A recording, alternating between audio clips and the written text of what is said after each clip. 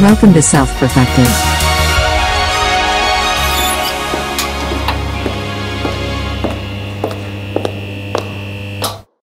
missed. Cameron was tr- Cameron was trying to cancel me.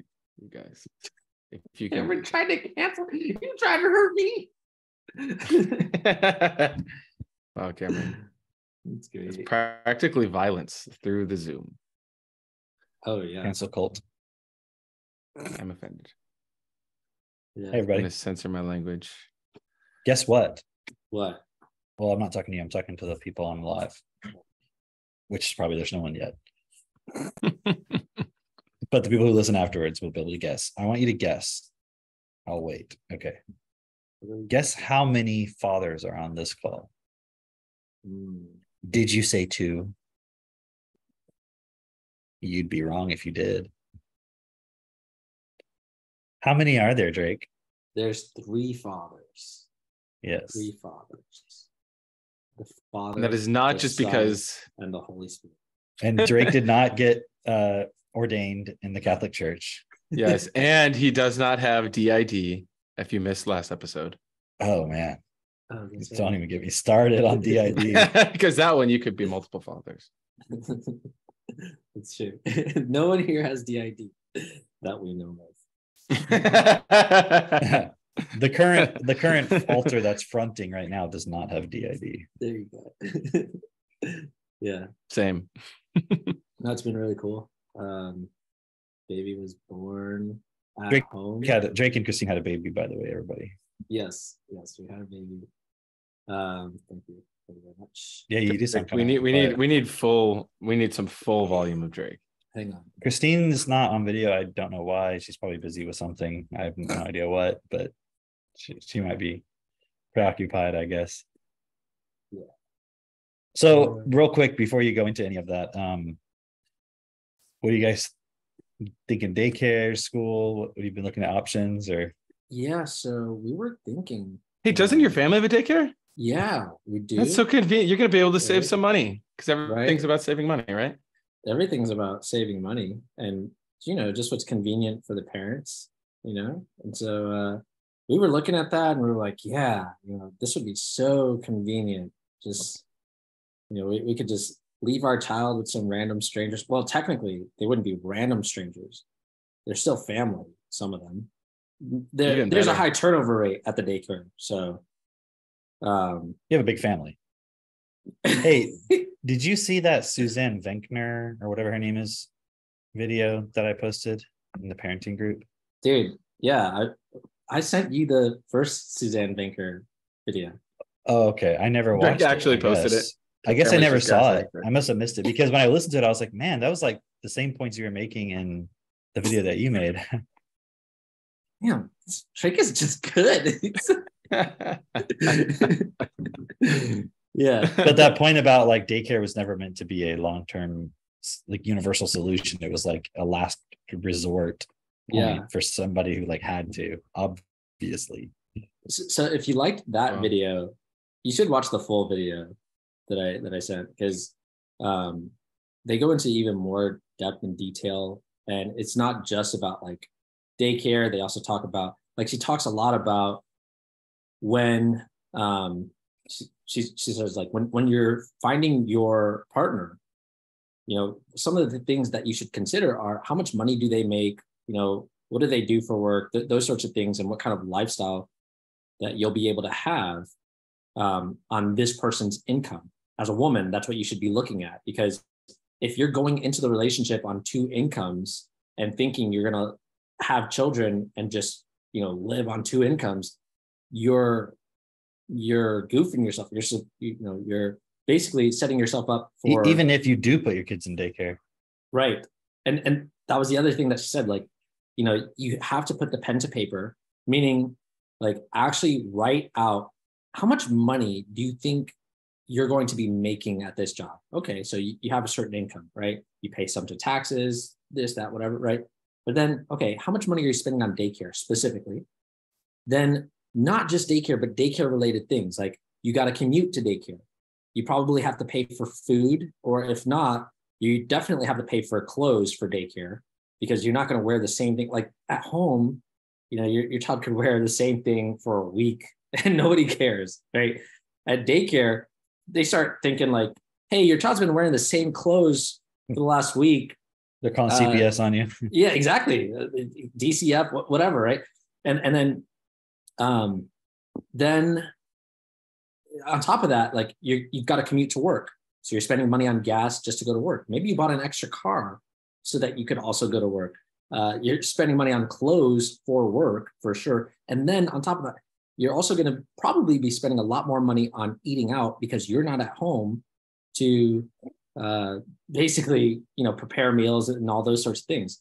So when you tally up all that stuff and everything else related to it you actually end up basically not not making any money Yeah, It's like You're you're, going to your job so you can fu- like finance putting your kid in daycare essentially. Exactly. exactly like, it makes zero sense. it doesn't make any sense and then the the okay so maybe you're thinking you know you know obviously people who listen to this podcast are not thinking this but you know if you're the average person you're thinking well no they can do a better job than me at daycare of taking care of my kid well whoa, whoa, whoa, whoa. Well, This is like remember mass formation psychosis during the this is a mass formation psychosis. Yeah. This is a mass formation psychosis. And you know what, what's interesting about this is um, I started seeing that more clearly when I was reading the book Hold On to Your Kids um, by Dr. Neufeld and Gabor Mate, right? And they were just talking, and they weren't even trying to make this point against daycare. They were literally talking about peer orientation. And they were just making the point that um, you know, daycare kind of came around or, or became really popular rather in the late 40s, 50s, World War II era, right? Because a, a whole bunch of men were now in the military and women were like needed in the factories and things like that. And so they brought these women into the workforce and they needed a place to put their kids, right? Um, and, and so it became this thing really interesting where it's just like you can't talk shit about daycares. Which like which because like oh yeah, and I, I heard one point where she was saying also like with by the 70s it was like totally accepted because of all the feminism stuff. Mhm. You know, yeah yeah and and the interesting thing about that is there's so many interesting i think there's so many interesting things about that. Um one being that okay.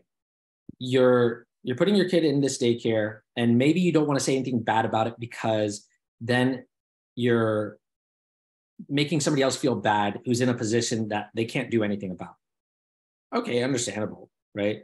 But then that Is doesn't But it's not actually true. Like they can, they could do something about it if they had like a long-term plan. maybe they can't but what the but if okay let's say you're that person okay who like literally you're in a situation you can't do anything about it do you give a fuck about people trying to make you feel bad well but like that it's it- it's there's nothing you can that. do it, it's the people who could do it yes are trying to justify all the other stuff like the feminism points and all that who don't want to experience their own guilt it's the same point that comes up when people are like well how can you say what's best for all? Like you know i think what's best for everybody is like an individual thing and it's like that's just you not wanting to experience the guilt of like i don't want to change and change the system and all Yeah. that stuff. Like i just want to say everyone can have their own opinion. By the same way, thing with the religion. Like i don't i don't want to experience the cognitive dissonance and the guilt of not actually having thought really my the conclusions of my beliefs and shit through so i'm like well Mhm. everyone has can have their own opinion So, by the way, go back listen to episode eight where we talk about like who decides what's best for all. I'm pretty sure that's what it's called. Who decides what's best, right? Um, but also, spoiler alert it's us. it's drake no but uh, but no, uh, that point about like religion as well as uh, you know, because I grew up very religious, but I also spent a lot of time actually focused on trying to understand why I believed what I believed, right? And really trying to get down to just the inner workings of my own mind and then what I was told and like what makes sense and what doesn't make sense. and I just what's interesting is I did that on my own, um, and I was able to come to at least to the point where it was just like a lot of this doesn't make sense, you know. And then for me, what was available to me at that time was just spirituality, you know. So that ended up. Um, hang on, I gotta force quit some stuff because laptop's like going. Are you a Jedi now? I gotta quit the force. You Got- a force quit? I- I- Yeah, he took I- spirituality to the ultimate, and he's like, you know, reading those documents. We're like, oh my god, George Lucas, like, actually based Star Wars off of these, like, you know, spiritual things. you know the guys. Yeah. Yeah. Oh yeah. Yeah, Lao Tzu it was one of them. Wait, what? Really? Yeah. I've been- Oh, I, I clearly didn't do my research. uh, no, I've yeah, didn't studying- you read that in the Tao Te Ching where he talks about like midi-chlorians and Yeah, yeah, yeah. Is that how you pronounce it? You pronounce it Tao teaching? That's uh, that is incorrect. that is that's worse. how would you pronounce it? Tao teaching. Dao De Zhang. Okay, look at it. There you Fucking, go. fucking I great pronounce it. I God pronounce it damn. Andrew Yang. Andrew Yang. I've, I've got Also, I, I'm sorry, I learned Chinese phonics, so oh, rough. I, I, Yeah, I've got it's on been my, a rough life. Here we go. No, that's not it. I've got on my bookcase the Tao of Pooh. Tao of Pooh. You would have that. well, Yeah, no, it's wow. it's Winnie the Pooh. Winnie the Pooh. Okay. Yeah, sure. You're like, whatever. it's pretty good. I enjoyed it the one time I read it in a baby's room um, while I was working at a daycare. Oh, hey, yeah, one one time I was working at a daycare. Multiple times I was working at a daycare, my family's daycare. Um, let me tell you some things that go on there. Um, I, I guess just to go back to that point of, uh, you know, daycare becoming popular, you know, like in the 50s and especially in the 70s really picking up. Um like that point of it was just kind of acceptable. That that's the the mass psychosis going on there. It, it would be like this is going to sound racist but it's okay because i can say it Is it okay because you're black? yeah exactly. That, that was racist too oh, oh, now you're black. yeah. Now right now for this Damn. moment. Just just to this moment okay? Um but uh it would be like you see someone sagging their pants right? Because in prison they had to sag their pants in order to not get beat the fuck up right? And then they come out of prison and they continue sagging their pants. And so instead of recognizing like that is something that you had to do to survive it becomes the new fad. And then everybody sags their pants. And like if you were to say anything about it then you're a bigot for for you know not being accepting of all cultures and all people you know? And you should be sagging your pants too. Like i mean i guess some people are privileged and you can have a fucking belt you know you don't have to sag your pants but that's that's that's basically what daycare is right? But it's worse. It's much worse right? It, it would Hmm. be like i don't know. I, I said this somewhere else but it would be like you know you, you chop off one of your hands or somebody is an amputee from a war or something like that or from genetical disease whatever. And then everyone goes around like oh everyone should chop off their hand you know just so we don't make that person feel bad like, what how does that even how does that even make sense You, you know what it's like? Actually, it's like the circumcision thing. oh yeah there you go It's like everybody circumcises their kids because you're supposed to, and it's like better. But then you actually do the research, and you're like, this is like a fucking scam, dude. This is weird. It's very weird. Yeah. I I tried to get Cameron circumcised, but just it's too late. And you notice I already was. Oh. I think they botched that thing. I know at first glance it seems like nothing's missing, but um, but yeah, Nice. like it, that. I mean, that's a whole topic in itself. And I remember watching like a Stefan Molyneux presentation about it, and I was like, dude, what the fuck is the point of all this? And then it's like people they would go into all kinds of stuff, like it prevents cancer and shit, and you're like, what? I remember it's hearing just all uh, the same It's like with You- the masks. You know, De- Prager, Right? the guy, Dennis Dennis Prager. Prager? He's like that, Yeah. yeah. like conservative guy, whatever. Yeah. I remember I was like, I, I found some of the PragerU stuff. I was like, oh, that's kind of interesting. And then in one of them, he's like, yeah, you know, I'm being Jewish.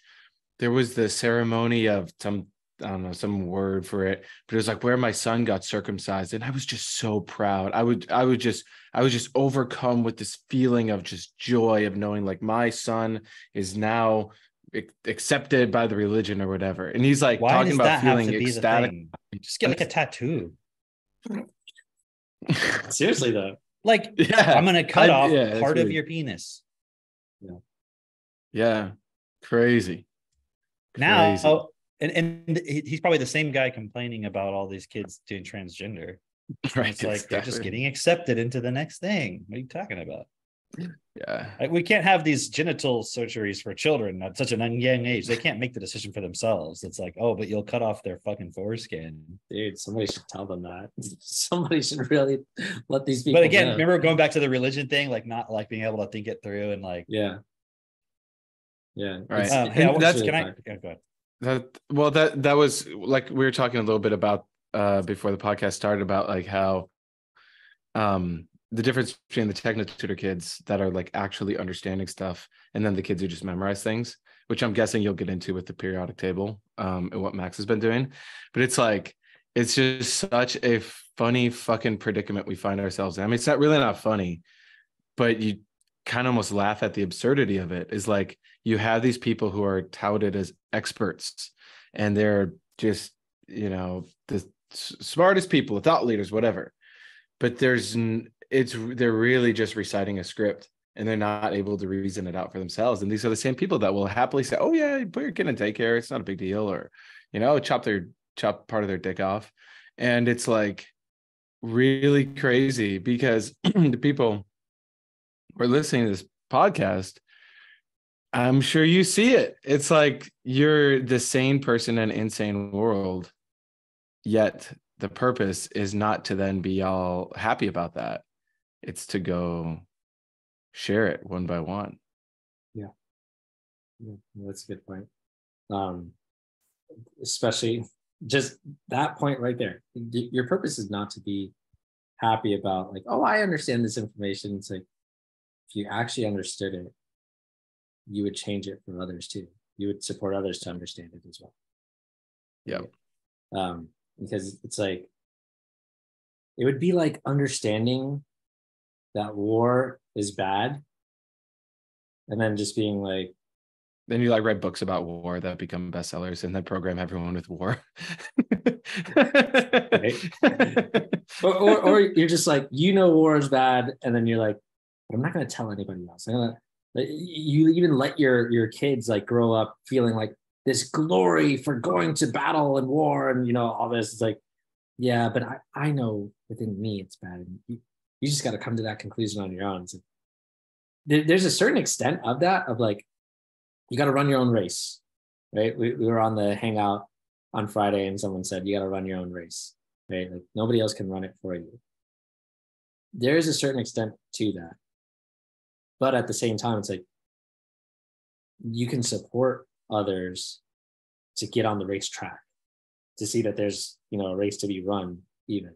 And and and you can break the four minute mile to show them what's possible. yes. And and then to to break down that like analogy of just like it's just really walking this process, using the tools, joining the community and changing the world so that it is best for all. It's that simple, you know. That's the race, quote unquote. But you gotta you gotta do it for yourself. Nobody else is gonna do the it. real race. Everyone nowadays talking about race, getting it all wrong. Yeah, th- this is the master race right here. Hey, that'd be a great name for this title. Hmm, okay, we'll, we'll we'll put that to the side. Master race. All right, cool. I bet Cameron I'll, I'll likes it. consider it. You'll consider it. Deep down, Cameron is the most excited about that title. He just doesn't want to It's it. a little too on the nose. it. I like it. Sorry, I was kind of distracted. I was trying to pull up some videos since we were talking about the chemistry thing. So I realized there were some I hadn't down. Cameron has to catch up on his on his Netflix specials. It's like, oh, Yeah. Fuck. It's like Crazy. I haven't I haven't watched Netflix in years, man. Really? Yeah, I, don't, Dude, I haven't had it missed, for years. Missed out. You missed out. Cuties. Um, How many episodes of Black Mirror have you seen? Three. No, four. Okay, All right. Four. Well, let's Four? talk later once you've actually watched. Them. Okay, Mitch, watching Striking Vipers four times doesn't count.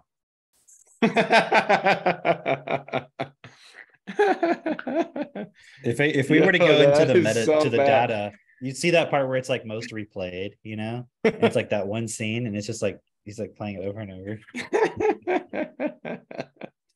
I'm so glad I don't have an image to go with this. Like I know You exactly. What, seen it. no, not that episode. No. I know exactly what you're talking about, but I'm like, Oh, you haven't, dude. it's oh, so oh, You gotta watch you're it. like the guy who's like, I know. Oh, techno tutor. Yeah, yeah, yeah. Reprogram. I know exactly what you're talking about. You know, yeah. you're not gonna get me to professor. watch it. Yeah, yeah, Dude, yeah. I've been you won't believe it. I, I, I, I just after I heard about it, man. Even just hearing about it, like I'm getting such good results now.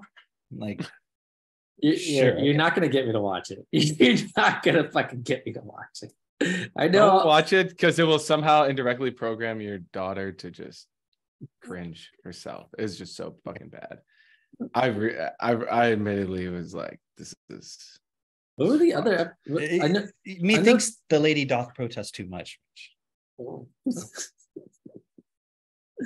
being a little bitch, he says. No, no, Uh, that's not what I'm saying. It's yeah. like you seem a little bit trying to prove, really prove to us that you didn't like it. Oh, oh. never mind. Hey, I'm reading this book called Hyperion. You ever heard of it? No. I, I've heard of it, but I never. You guys are illiterate. Um, it's okay, no, it- it- it's uh it's a book I've had for a while on my shelf. I just never read it.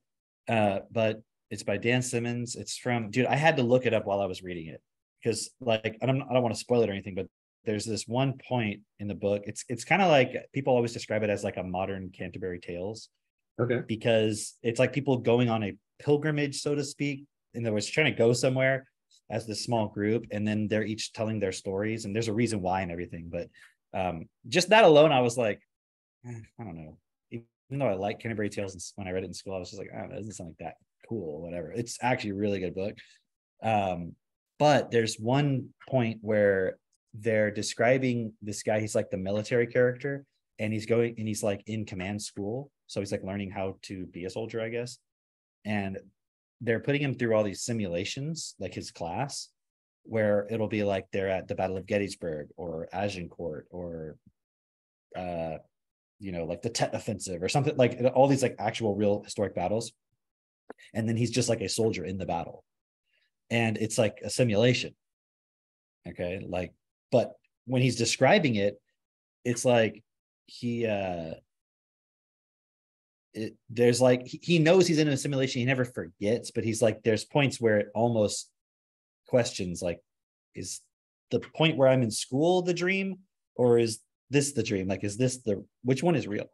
Because it's so realistic it's like super you know high realistic. And i had to look it up because the way it was described without going into the detail like the way he it was described how he was experiencing himself and everything and the language around how how it was described i was like when the fuck was this book written? I went back and looked and it was 1989 and i was like because normally if you read a book from the 80s about vr or something like that it sounds very outdated like if you ever read william gibson you know it's like cyber decks and like all this different stuff and it's those are good books too but it just it was the language it's, it makes it sound like outdated Yeah. yeah. um but the way they describe this i was like man this is it's as if somebody were today with all of the knowledge today describing kind of like the near future of vr it, it was it's so anyways it's really good and that, i mean I'm, I'm i'm only like not even a fifth of the way into the book I like when authors really do their research and they're like, they go and study like whether it's like history or they study like like what's the latest technology and where it's going and all of that, and then they like include that in the way that they write. Like Neal Stephenson does a really good job of that. Like, Yeah, and uh, you know, you know, um, Otherland, how it's the way it describes everything, it's like very believable in terms of yes, that's how this is, although it predates Otherland by some time Yeah, or yeah. whatever. But it's Yeah. very similar, like how it describes everything. Yeah, Um, the the way that Otherland is written, like even if the words aren't exactly correct, it's like it draws you in. like it's it's dude, its but own- they they use the word Netflix, which Oh, was that's true. weird. yeah, that is They they called it Netflix, and um he also uses um oh no he doesn't use it, but he ref- that's how I that's how I realized it. It was he refers to the TikToks. I remember him referring because he talks he has like a Wizard of Oz simulation, right? Oh, that's right. That's, yeah, right. that's how. I originally knew about it. So I was like, man, is this where TikTok got its name from? And then I read Wizard of Oz. Like, I forget which. Oh, it's one of the books called TikTok of Oz in the series, and then there's Yeah. a character called TikTok who's like a robot. I'm like, I wonder if that that's any influence on them naming it that way. I don't know. maybe maybe to make you into a robot. Here, here's your TikTok. It's so crazy. I was uh this past week I went and I got this like private tour of this VR lab around here. And I had gone to an event there maybe three months ago. Actually a long time ago. Damn, time flies. What if what if you Um, never left? What if You know, I'm starting to this whole time not remember is this the dream or was that the dream? And D- I I get why they get DID now. You just got fucking systems within you, you know. I'm like fronting, backing, and I gotta add that vocab to my TT. But anyway, I think anyway. they call it be I think they call it bottoming. Yeah, I think that's what you're. You should always tell people. You should tell people if they ever ask you about DID that you're the bottom. That's that's the uh, part. I really like bottoming. I like fronting, you know. The fucking system. So, anyways, about this VR lab. So it's interesting because they have these. It reminded me of you know how you ever go to Top Golf where they have like different bays where you can go and then you like drive. It's like driving range kind of, but then it was like that. But where you're like a you could- thousand feet in the air. No, no, no, no, no. This is like in real world. Okay. No, And no. But I'm saying isn't isn't Top Golf? You're like way up high. oh, kind of, kind of, yeah. I've actually never. I don't know. Top, top golf, top golf is kind of overrated. It's not that fucking fun. I don't know. It's, it's fun. It, I mean, It looks cool to me. With I've with with the right group of people, it'd actually be fun. I just have just gone with not the right group of people. But anyway, okay. So you got these people in their VR like plug-in things, and then they're like running around. It, it was just really funny to watch these people because they're just like in the zone doing their thing. Um, but then the thing that was really the most it- there's two parts that was really interesting to me. One was uh, so the guy who runs it, he has like a proprietary software thing where they can make a space for you, and then instead of like meeting on Zoom, you could all have your little character thing, and then you could have like let's say self-perfected podcast uh podcast land. So then it's like us four get private access to the podcast studio and then everyone outside they could like tune in. So instead of them watching us on zoom they could be their own little avatar character in there like watching us live. And we could be like you know switch you could like switch it to look like you're in freaking medieval times when we're talking about medieval stuff. And the future when we're talking about the future and and it's it was it was pretty fascinating because I was telling him I was like, yeah, on Fridays we do this hangout with this with our groups, you know, and I told him a little bit about it. I was like, what would that even look like? He's like, yeah, you could literally just go to this way. It's called simulacra, by the way, which is interesting. And you just type in. He's like, yeah, and it would, it if it's not customized, it's literally free. You just get your own access code, and then everyone could come on there, and you can. Tweet, there's like general settings, but then you could have it where you have to be close to each other to hear each other, or so it's kind of like a a real event where you like at the self perfected event, right? You got to like walk up to the person to hear them, but then other people could have their sound over the intercom. So I was, I, my mind just started racing. Like, holy shit, this is like the thing I was thinking about for years. I'm like, this is actually like the thing that'd be kind of, I, I could. So he was saying that they partnered with like Target and all these other corporations that have their headquarters here. And he said at the Target one at first, they let everybody wear whatever avatar stuff they wanted. They could customize their outfits, and like it became way too big of a distraction. So now they can either wear a Target sweatshirt with the khakis or like one A, of dis- their a distraction from what? I don't fucking know. From the important target discussion? Like what is there that, what are they talking about? You know, putting Satan on their t-shirts and shit like that. yeah, yeah. How to on, how hold to on, make on. sure that they have transgender Hold on, wait, wait, wait, wait. Let me just get this right. Let me get this right. So everybody getting to choose all their crazy outfits was a distraction in the virtual target. but if you go to an actual target, there's like fucking pride displays, women's clothing in the men's section. I'm like, what? It's not a But, It's but they're like, well, yeah. in the, in the virtual world, you know, we can't let people have choice and express themselves and all that stuff, right? Like, what the fuck? Yeah, yeah. So it's so funny. Like, we're trying So, to get work done b- here. Yeah. But then he was saying um how like there's a more advanced version that is out there and that they're working on. Totally the generative AI thing. So like real time, you could be like, hey, you know, I want this uh building to look like gothic architecture and I, you know, want to be a unicorn and be able to fly around. And it's like instant, it changes your world and how you're seeing it. So that's gonna be fascinating because I'm sure Zoom is working on something like this. So, you know, all these companies for the quote unquote future of work are going to have that. So that was that was interesting to me. Yeah.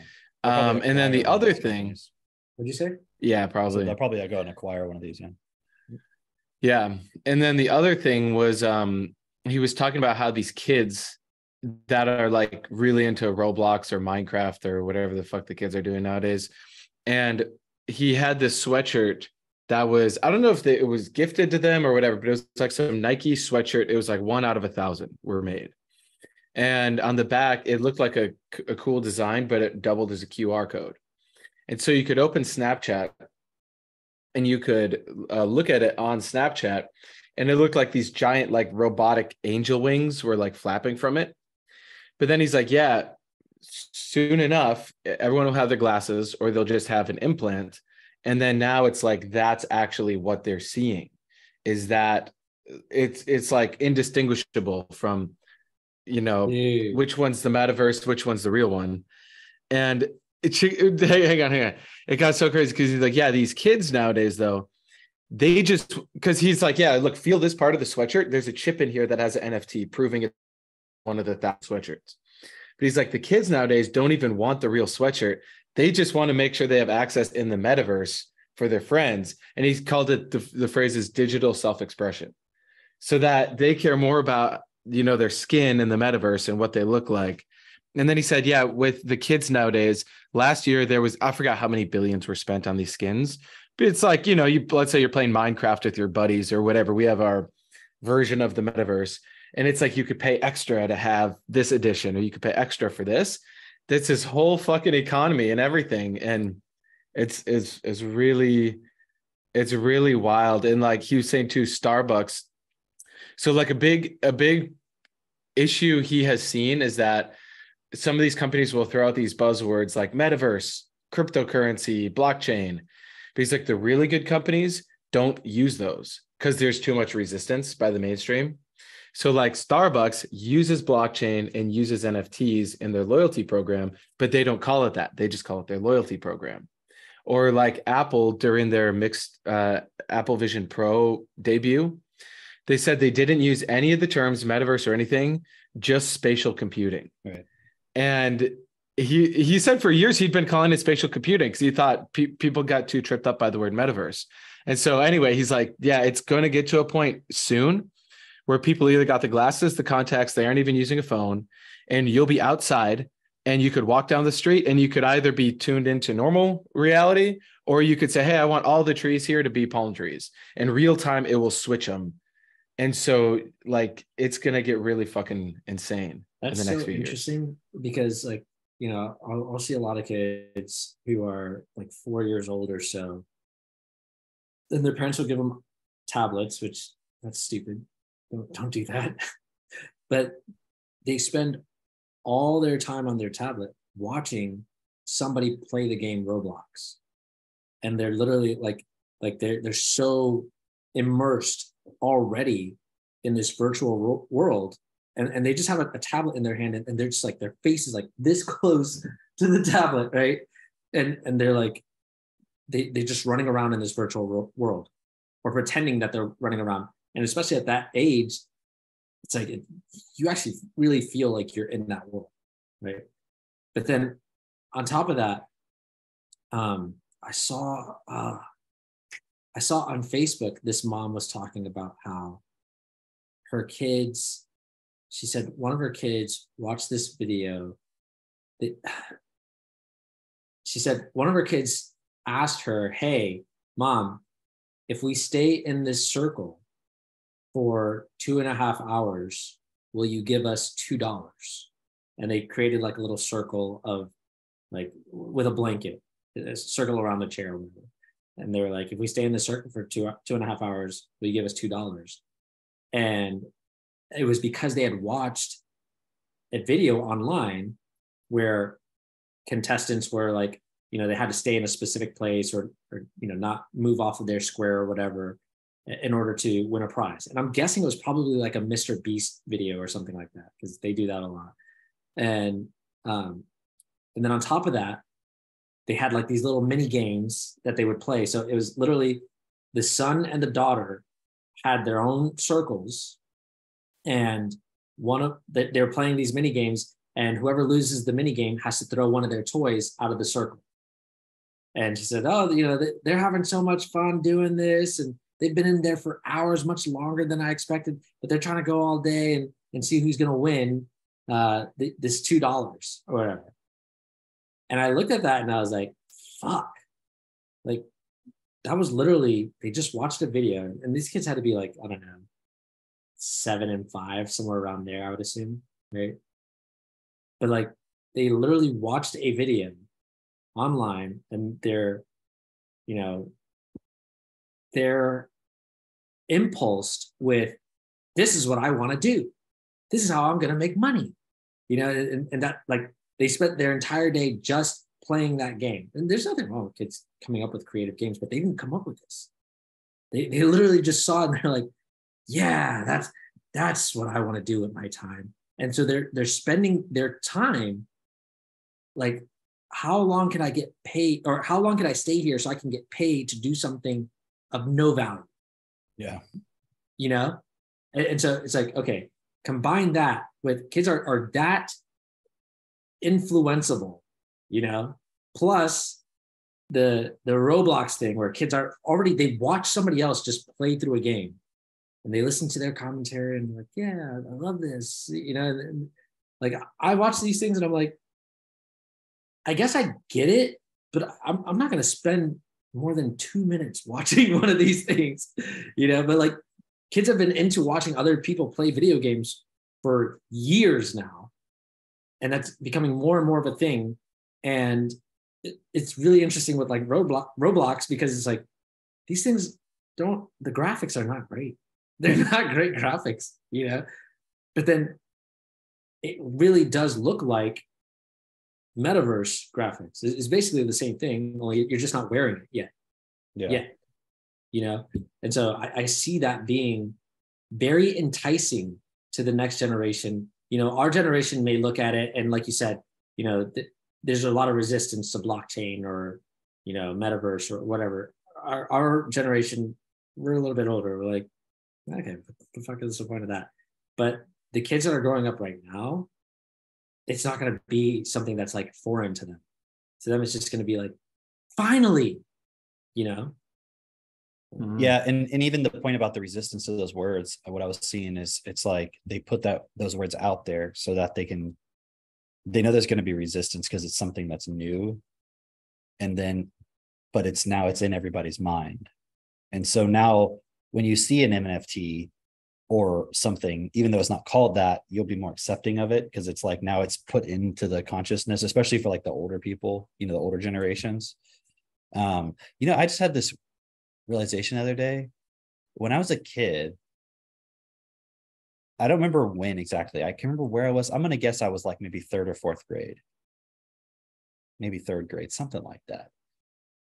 And I remember watching on TV some kind of show I, I want to say it was like on C-SPAN or some kind of thing like that. It was some kind of uh I don't know if it was like a like a presentation to the Senate, like a Senate hearing, or if it was more like a TV show. I can't remember exactly what the context was, but it was Al Gore. And he was talking about the information superhighway. And this was before we had even like AOL and stuff. Right. And and I just remember that the other day. It was like playing in the on the TV at my grandparents' house. And I just remember like picking up on it, you know. And then I remember how he was like the one who did like the whole inconvenient truth and all that. Yeah. And I was like, this they use this guy to like take concepts and like put them into the consciousness. Isn't that crazy? Yeah. Right. I, I need to go look that up. Like, what was that movie or whatever That's fascinating. because in in the uh in the whole John Taylor Gatto like five hour underground history thing, he explains that. Well, actually, maybe it was John Kerry who he was saying, but the uh when it's like the skull and bones put forth both the Republican and the Democrat.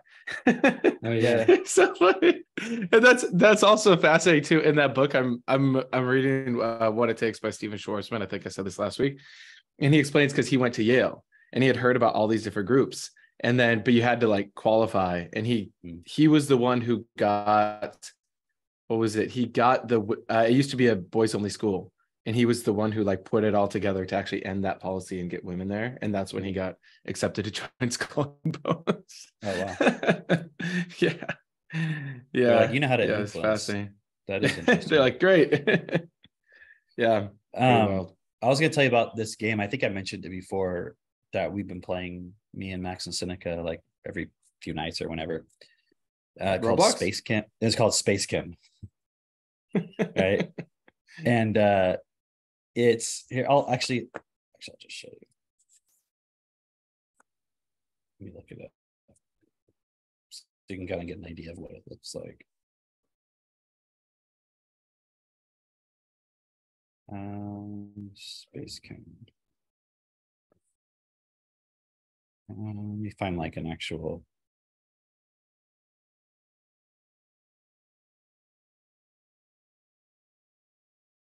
Here's one. I'll just I'll just turn the audio off on it. But it's basically a game that you could say it's based on chemistry. You don't necessarily need to know chemistry, but you have. Oh, that's a little intense. Hold on a second. Oh yeah, you showed us this. Uh, Oh, I thought Huh? you said space camp. I'll just do one like this. Okay. I showed you this before. We're gonna watch a video of like one of those original streamers who's like, oh, he's like playing space chem. And Uh, like, yeah, it's just people like making like tutorials or whatever. But basically, you have to like you have to take all these little pieces and arrange them on these grids, and you have inputs and you have outputs, and basically, it's like you have to basically create a program. See, like this one, for example, when this little circular thing, you see this like thing that's got like the brakes in it, right? There's a blue one and a red one. It starts on that button, and when you push play, it'll move along the track in the direction of these arrows. And like when it says in alpha, that'll pull in like one of these chemicals, whatever is in the input. And then you have commands like you can grab that chemical. And then what it'll do is it'll follow it along the track. And so it's like you're designing an industrial process to um let me see if I can skip forward to one when they're actually doing it. Let's see. Here's one. So he see how it's like moving it along and then it drops it off over here and just output.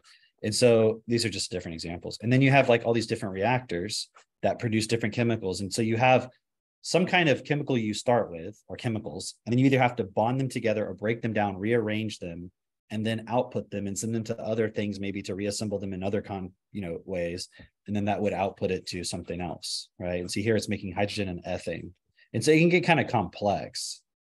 Um, because you have to figure i mean it's it's actually a pretty challenging game and so we've been playing this game and uh because i had seen it like many years ago and so i just thought it would be cool like max would like it right and it's fascinating too because there'll be times where like we'll play it together like in the evening and i'll like put a little button and i'll put maybe like you know like there'll be like a grab button or a drop button and i'll maybe i'll put the wrong thing because you have to click it and assign it and everything.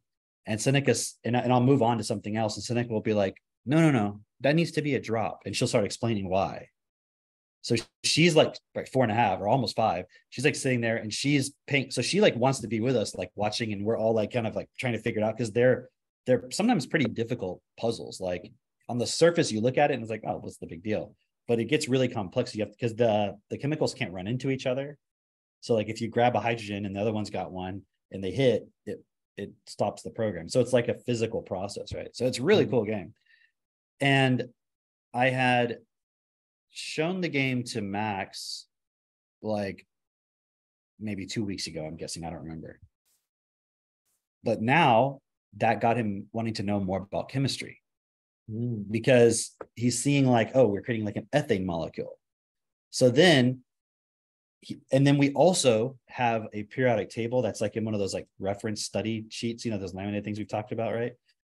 So we've had that for a while, and every once in a while he would look at it, but not like that much. Like he would look every once in a while, he would kind of know something's on there. But since we started playing that game, he's suddenly very interested. He wants like a chemistry set, and he's like trying to mix chemicals at home, like baking soda and vinegar and like other things, and try to figure stuff out, right? And he keeps talking to us about wanting a chemistry set.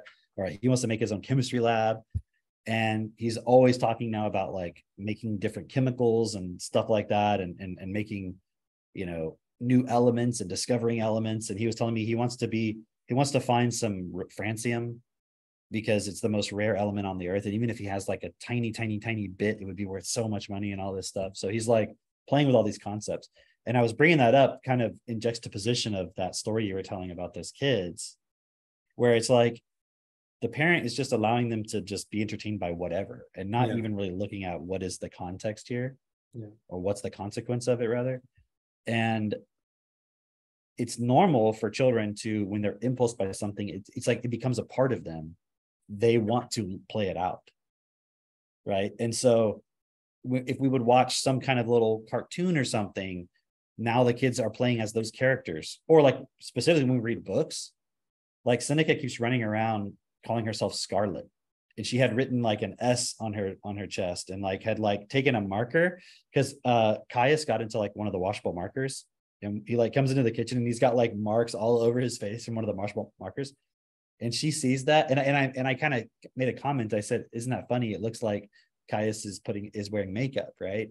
And Seneca like got this idea and she took the markers and started making marks on her face as if it was makeup. Mm. And then she was pretending to be Scarlet. Right. And I was like, why Scarlet? Like, where are you getting that from? And it was this crayon, it was like a Crayola coloring book that was like, that we got from the Kubota store, like the Kubota dealership or whatever. Yeah. And so it's got like crayons using Kubota equipment. it's like there, there's even one page where they're playing softball and it's like the Crayola Crushers versus the Kubota, whatever. I forget what they call them, whatever. And so it's like Kubota versus Crayola, right? It's a silly thing, right? Yeah. But but the all the Crayolas have names like Periwinkle or whatever, you know. So one of them is Scarlet, and that's where she got that idea to be Scarlet. And I was like, "Why did you want to be Scarlet?" And she goes, "Because Scarlet's the girl." Right. And so mm-hmm. just the point is, even something simple like that, the kids didn't want to take that on. Like when we read Wizard of Oz, they wanted to be Dorothy and Toto and the wizard and the lion and all these different characters all the time, right? So even the games that we expose them to, we're very specific about it. Like I won't expose Max to, to Minecraft. Mm. You know, like I'm sure he would love it. I'm sure he would enjoy it. But I also know all of the other stuff that's in it. And there's like other stuff that's like zombies and all this other crap and like um and the marketing and the branding around it. Every time we would go to Walmart, or a store, he would see probably like the Minecraft toys and he'd want to buy them because of the impulse within all of that. And I know right. how much that's manipulated, right? So we're very specific with these points. But it's interesting because we're not saying you can't ever play any games. And that that SpaceChem game did like um I was making some chamomile tea last night for everybody. And we had agreed, okay, we'll play some of the Space game tonight. And Max was like getting it set up. And I was like, if you want, you can start going on it. And while I'm making the tea. And so he's over there and he's like figuring out how to solve the problem and everything. And I'm like, I mean, his reasoning ability is just like insane. Um, but it's just really cool too, because then suddenly he's got this interest in chemistry.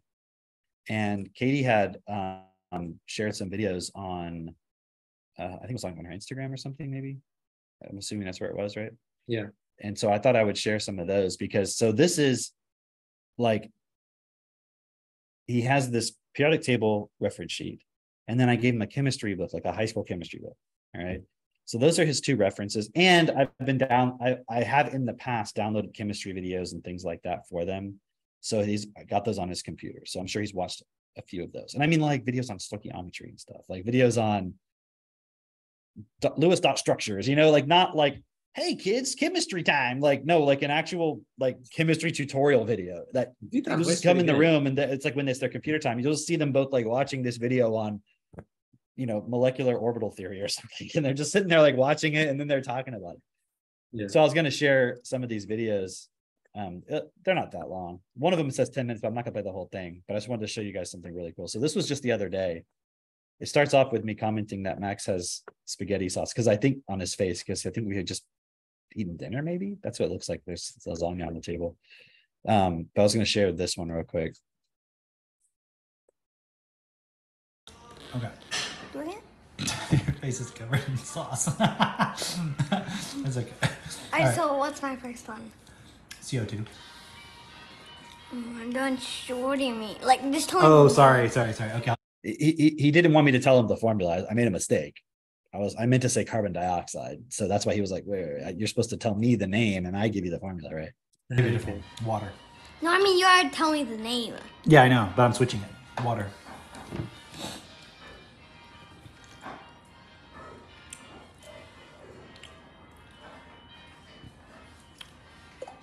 Nice. Okay. There's, there's Very nice. Um, how about carbon dioxide? dioxide. Right, I've got more. I've got like I know. I'm just starting out simple. Carbon dioxide? Yeah. That's really easy. Carbon monoxide, carbon dioxide. Okay. Um, what about ammonia? Ammonia, that's easy. You don't actually need very much for that. Only one of these nitrogens. Hyd-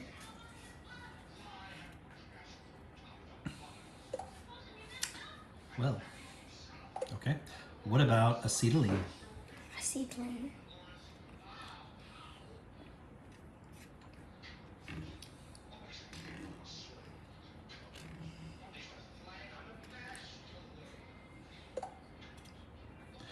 Wow.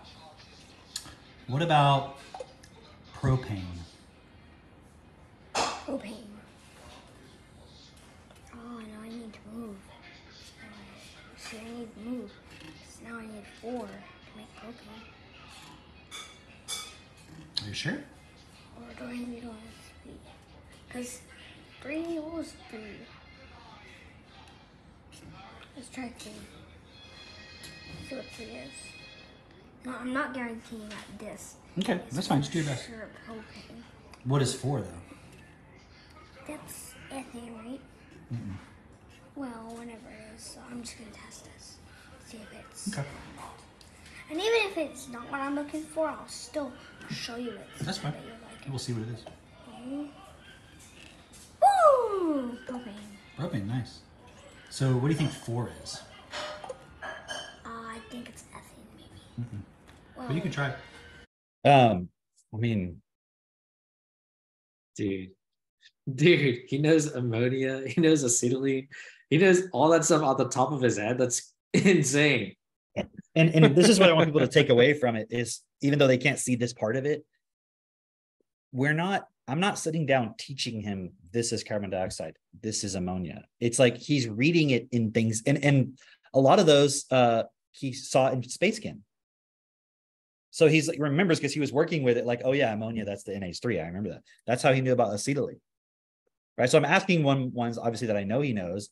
And then I asked him the propane one because I know those ones he had just learned that morning. So he got propane and butane mixed up. That's why he said four. And that's why I said, Are you sure? I didn't tell him the answer. And then he was like, Oh, actually, maybe it's three. Because he still he was he literally had just heard about those that morning.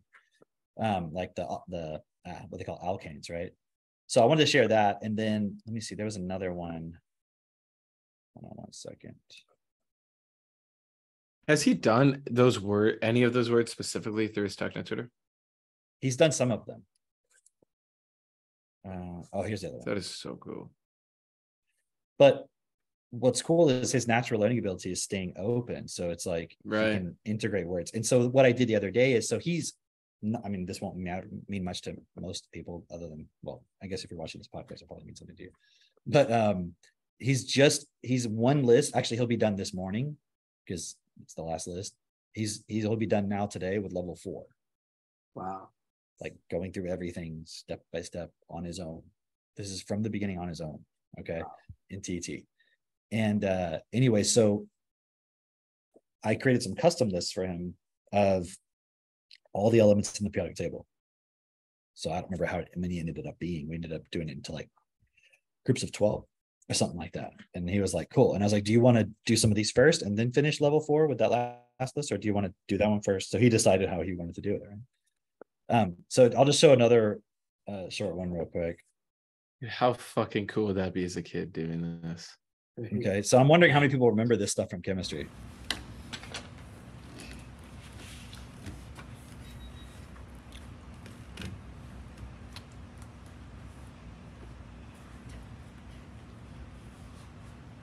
Obviously, eight protons. So he's, he's he has to put in here how many protons, neutrons, electrons based on the chemical symbol, right? There has to be 10 electrons if it were to have a 2 minus charge. Other words, if it has a 16, then that's 8. It probably also has 8 neutrons. And then it says check. Okay, so let me back it up for a second. I'll explain for those who don't have the context. Like, you know, Drake, uh, have you ever tu- you ever, you ever tutor chemistry much? Yeah. Have you? Yeah. You have. I used to tutor chemistry, um, and even stuff like this would trip up high schoolers. Oh yeah. You know, like the really smart ones, probably not, but like the average chemistry student would be like, like, and they would spend a week talking about this shit, and by the end of it, they'd still make mistakes on it. Right. And so what this is showing you is it's the chemical symbol for oxygen. This bottom number, the eight, it's called the atomic number. It tells you how many protons there are, which makes it unique to every other element. Every other every element has a unique number of protons. If you change the number of mm-hmm. protons, it's a different element. The number of neutrons can vary, but that's where this 16 comes in. It's called the mass. And so that's the neutrons plus protons. Okay. And then the negative two is not always on this, this symbol. It is, I guess, if it's an ion, which means it's missing or it has extra electrons. And in the case of this one, it says two minus, which means it has its its its charge is negative by two charges. So it must have two extra uh, negative charges. So just from this information, he was able to reason out it has eight protons, eight neutrons. So think, look how quickly he knew eight plus eight is 16. Yeah. And then also 10 plus, uh, sorry, 8 minus 10 is negative 2. So all of that he was ha- had to be able to do not only understand what each of these things means, but to be able to do the math very quickly. And so there's not a lot of math there other than addition, subtraction. But can you see how having a firm grasp on those basic points allows you to, to do this very quickly? Now imagine you're in high school and you never really integrated positives minus negatives, negatives minus positive, negative minus negative, all that stuff. How that would kind of bog you down. So even something simple like this, you'd be like, you'd be uncertain. There's no, you can see there's no uncertainty. And even on that other video where I showed where he wasn't sure about what was propane, you notice how he was like, well, even if this isn't the right one, it's fine. I'll test it out. Like he didn't care that it might be wrong. Right. You see that versus like, oh well, uh, I don't know. Tell me what it is. You know, like he didn't have that uncertainty or that that lack of self confidence. Right. And so it's cool because what we're showing with TechnoTutor is you you start with the basics and you build that in. And the reason why people have so many problems later on is because the foundation stuff is not in there effectively.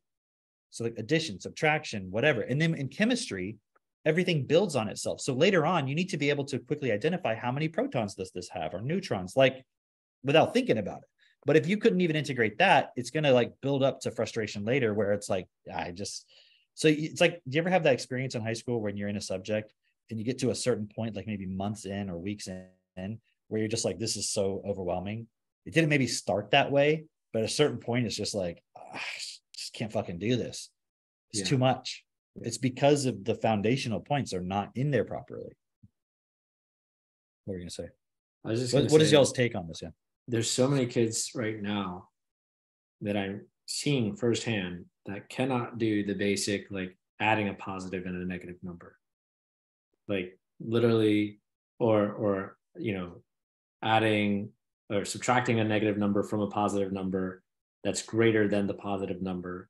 And I know I just lost some people just by saying it that way, you know, but like there's so many kids today that cannot do that very basic thing and they're like, uh, is it like, is it like negative one?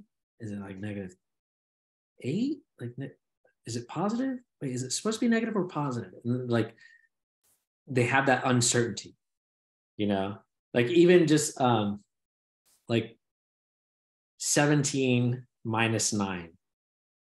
You know, I've, I've- seen high schoolers with, you know, 17 minus nine, and then, you know, they like cross out the seven and bring over the one. And now they have 17 minus nine. They're like, fuck, it's the same thing. They're like, this is minus nine.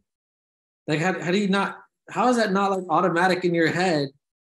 You know, just, why don't you just subtract 10 and then subtract one again? Like, that doesn't, you know, like subtract 10 and add one. I mean, add one. Like, then how do you not get this?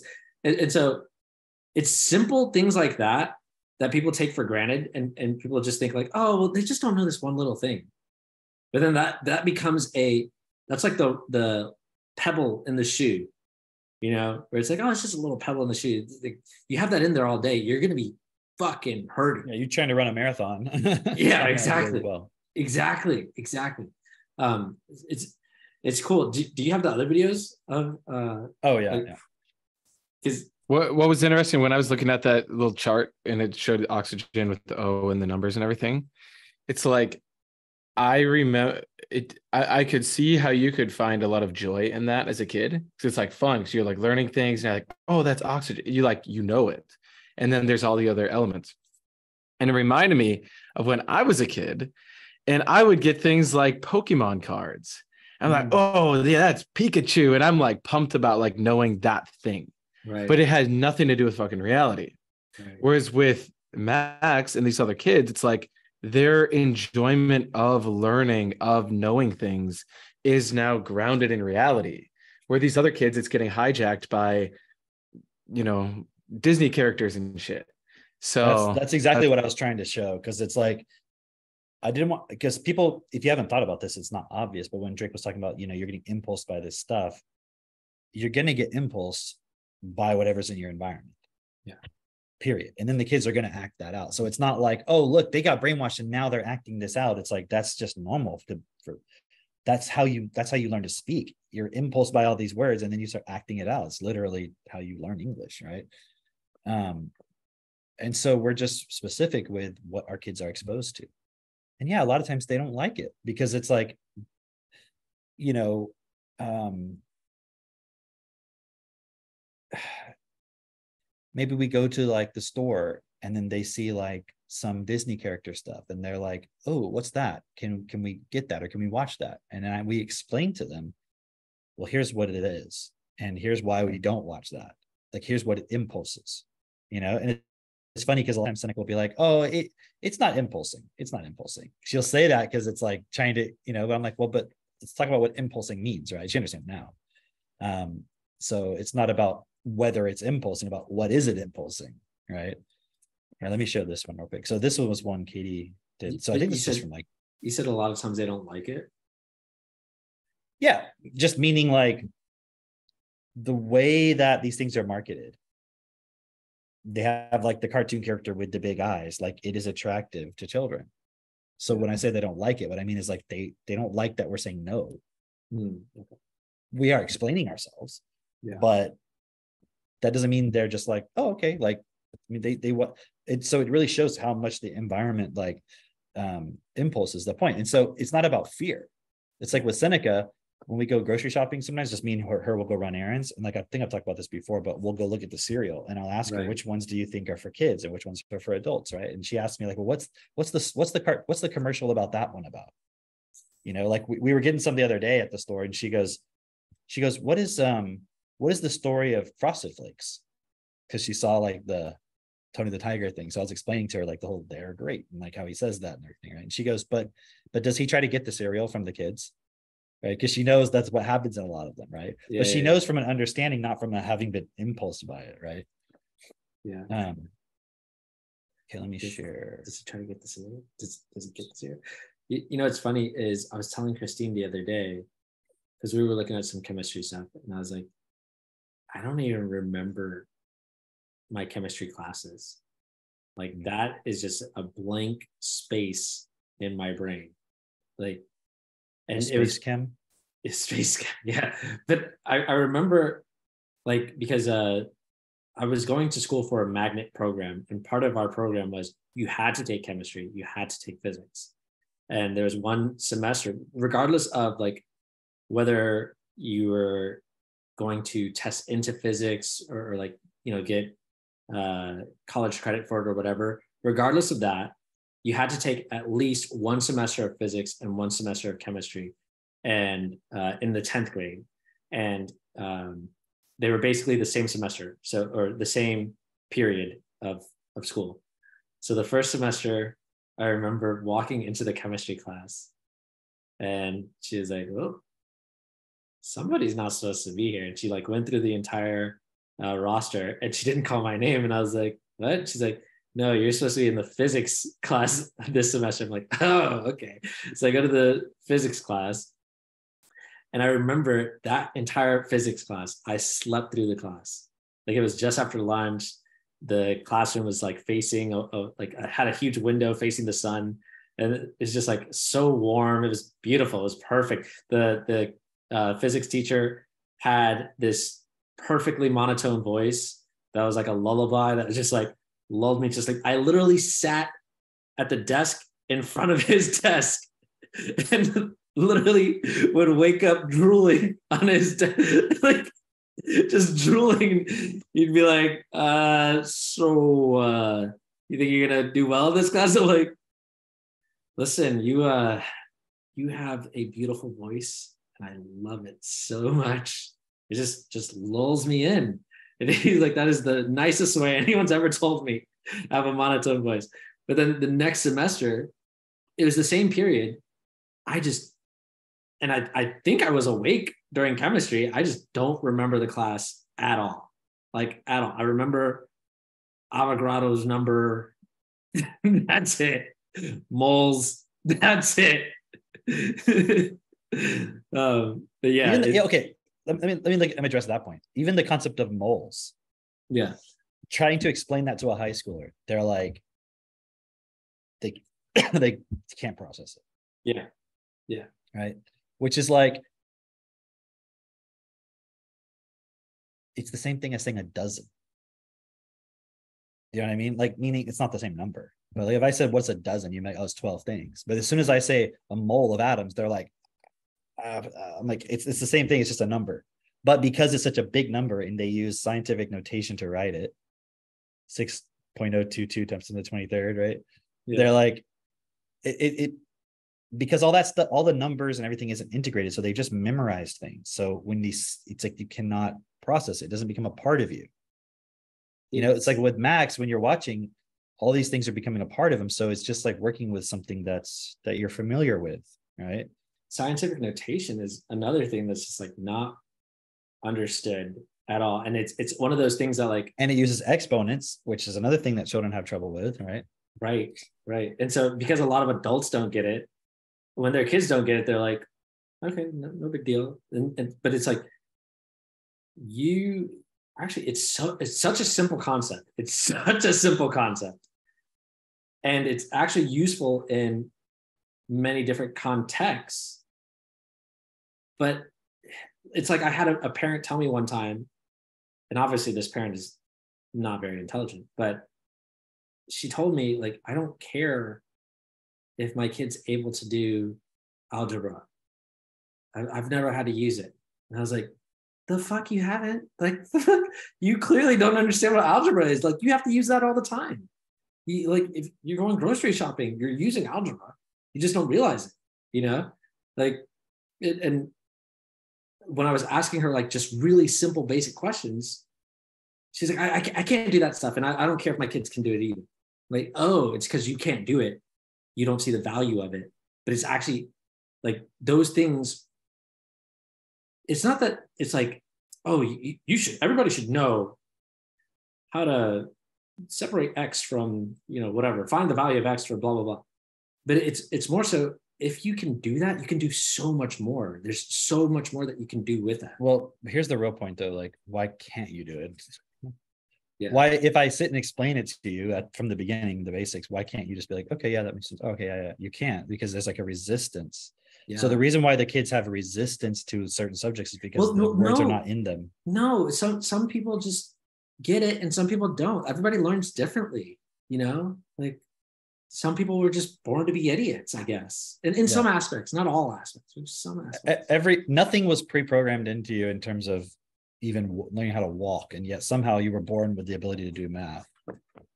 Yeah. Um. Here, let me share this one. Even like a that s- logic right there goes over a lot of people's heads. Isn't that funny? Okay, so here's uh there's a few videos, they're like a minute long, or whatever. yeah these are But this is or not even. Can you see it? Yep. Uh, so it's Katie. Well, I think she explains it clearly, but I think she's asking him some chemistry questions. So I haven't watched all these yet. Max is ready for his element quiz. Have I been helping you study this, or are you just doing it on your own? I'm doing it on my own. Right? Okay. I've got the periodic table here. He can't. He That's, that's cheating. can you see it? Yeah, yeah, I can yeah, see it, yeah. Yeah. So I'm, I'm gonna try to hit this thing. Okay. Are you ready? Yeah. Are you ready? Yeah. You ready for your quiz? Sure. Okay. Um, what is CL? Chlorine. What is AL? Aluminum. What is CU? Copper. That's the end of that. I. I just want to give some more context because like literally just before like before that video there's a there's a couple other videos where you can see the natural unfolding so it's not like they were sitting there preparing for a chemistry quiz. It was literally max comes up to katie and says um you know there's no lead in lead pencils and there. Oh, I think I'm gonna play that. I just didn't know what order they were in. oh okay. Maybe I just have them out of order. I don't know. Here, so me- so it, it, yeah. it starts with that video. And then after that it's not that video. Not that one. Not that one. Not that one. So no you don't have that video Oh, okay. I don't have it. yeah. So so i'm just giving that context of like so max comes up and, and says that and they're like kind of talking about that and the next video he's got a battery in his hand. It, it looks like a little miniature car battery and he's saying he's explaining like this does have lead in it. And she asks like how do you know that? And he says because it says pb on it. And uh, she says oh okay and what is pb he's like that's lead and then he goes and gets his like literally in that video he goes and, and gets the periodic table chart that she's holding in that, that video you just showed. And uh, he's like looking for pb he's like looking for it upside down actually. And then he turns it around. He's like okay here it is. And then um and then that's when she's like hey why don't i ask you some questions about what's on this? And that's Okay. literally the video you just showed was the video right after that of like hey why don't i ask you some questions about what's on this Okay. so so you know just to so everybody knows it's like this was just a natural just like in the moment hey what is this Um, I'm not sure which one. the next video i think is that one yeah this one here. the one with the with the red thing there Okay. yeah. You ready for more? Okay, what is ZN? Zinc. What is it? Zinc. What is um, CR? Chromium. I meant chromium. What is LI? Lithium. What is W? Tungsten. What is HG? Mercury. What is uh, LV? Livermorium. What is RN? Radon. What is XE? Xenon. What is BR?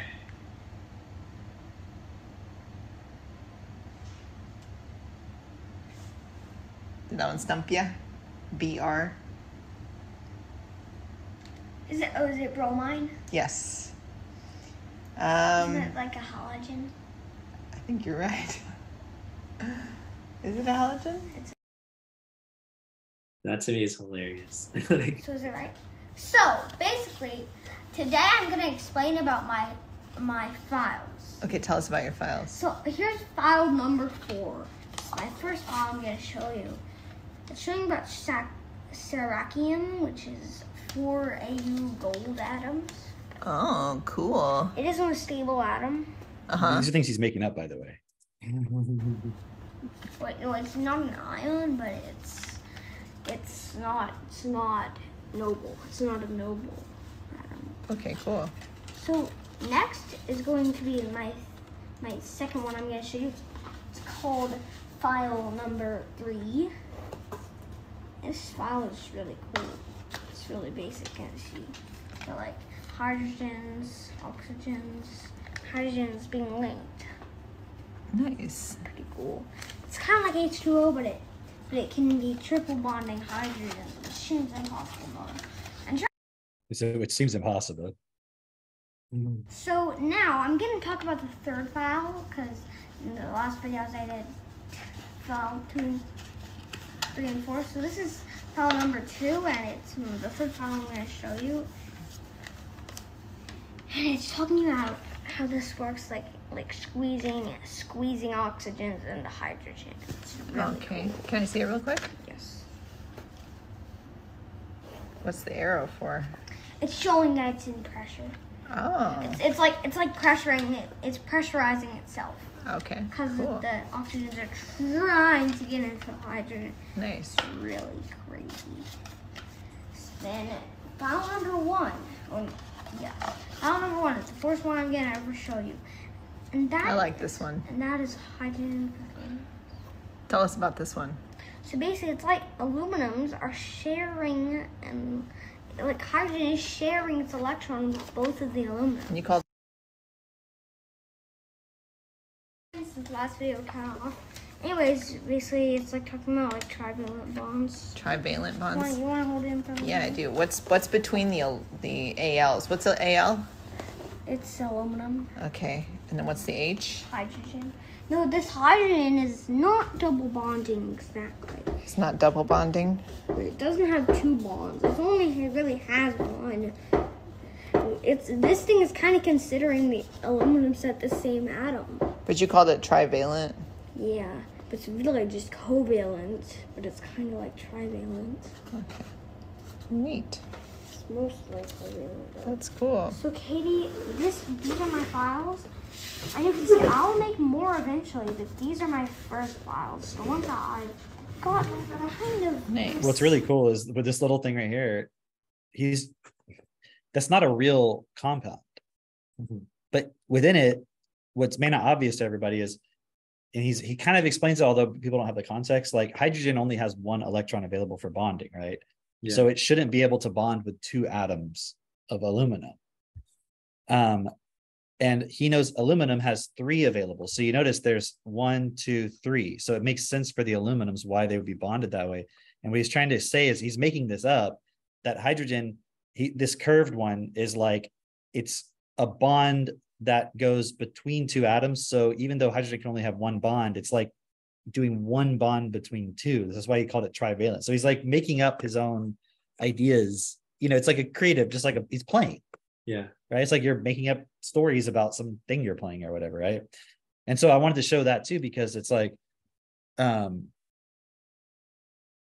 he's playing the SpaceChem game. He wants to learn about chemistry. He's doing like all kinds of like learning the periodic table, like that thing I showed you with like the oxygen and the the protons and neutrons. That was from some online simulator from some you know University of Colorado or whatever so he's doing all the stuff like you would do in high school but then he's also playing as well and making up his own stuff and like he's making those files like I, I remember seeing him start that process he took like a graph paper and like divided up into grids and he had scissors out and he cut out all those squares himself and like came up with the idea of they're like those were sleeves for like a cd It was like Yeah, a yeah. craft work compilation that we have, right?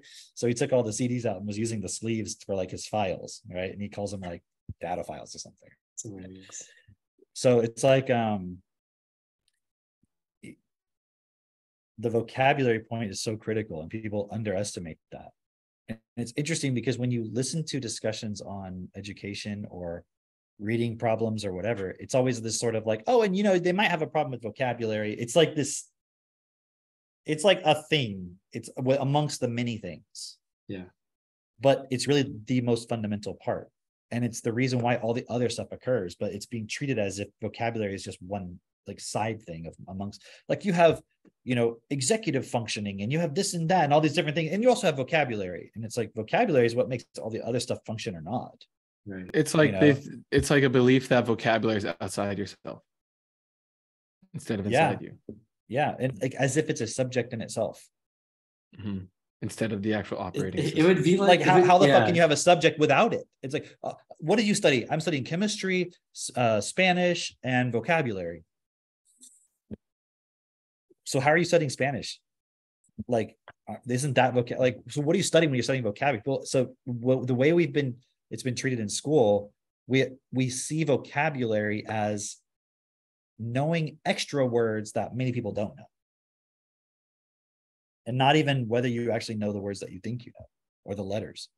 And you know that whole you guys always encounter this too. It's like people argue about like well math isn't just vocabulary it's like well what else is it What's numbers? what are numbers?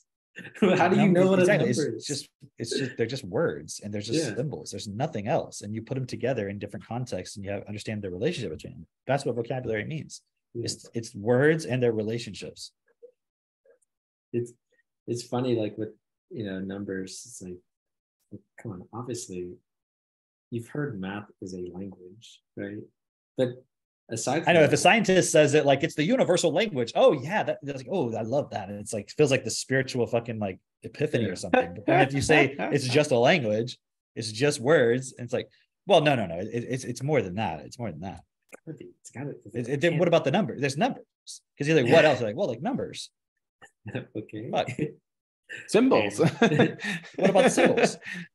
it's like people don't understand um the word relationship you know because it that's really everything comes down to relationships you know? Like in math it's the relationship of this number to that number but also that is vocabulary at the same time. Like it's literally How can you understand three without understanding two and four? yeah. I, I can how can you understand like add without understanding that word? How can you understand any of this dialogue without understanding any of these words and their relationships to one another and and to reality Yeah. you know It- it's just yeah, what it comes down to is even people have problems with math or even with writing and stuff, it's just a vocabulary problem. Yeah. Because even writing, it's like you don't have the the physical movements of a particular thing integrated effectively. You don't have the words integrated effectively. And I know this because, and that's not only with our kids, you see it with many kids, when they start using TechnoTutor, especially from a young age, although you see it can be corrected later on, but especially from a young age, they will spontaneously start writing without being taught how to write. So it just shows you when you have the words integrated within you effectively, physically, you start expressing it. And that's what I'm trying to show with all these chemistry things. Like Max is just expressing himself because now these words are a part of him. Right. It wasn't that cool. He said like livermorium. Like how many adults would know that? Dude i didn't know that probably wouldn't I even know like- W. I was like, what? like, I knew W, right? But when he said LV, I was like, I don't know that one. And he said it, I was like, holy shit, this kid knows more chemistry than I did. And like that was just a few examples.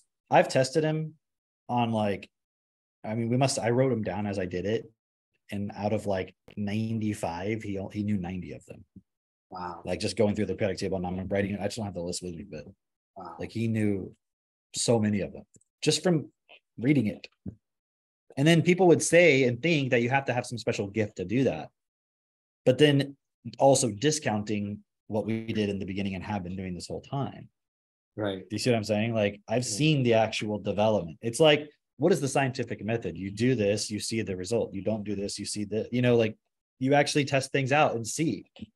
I remember when he was like three, um, you guys had done all the states.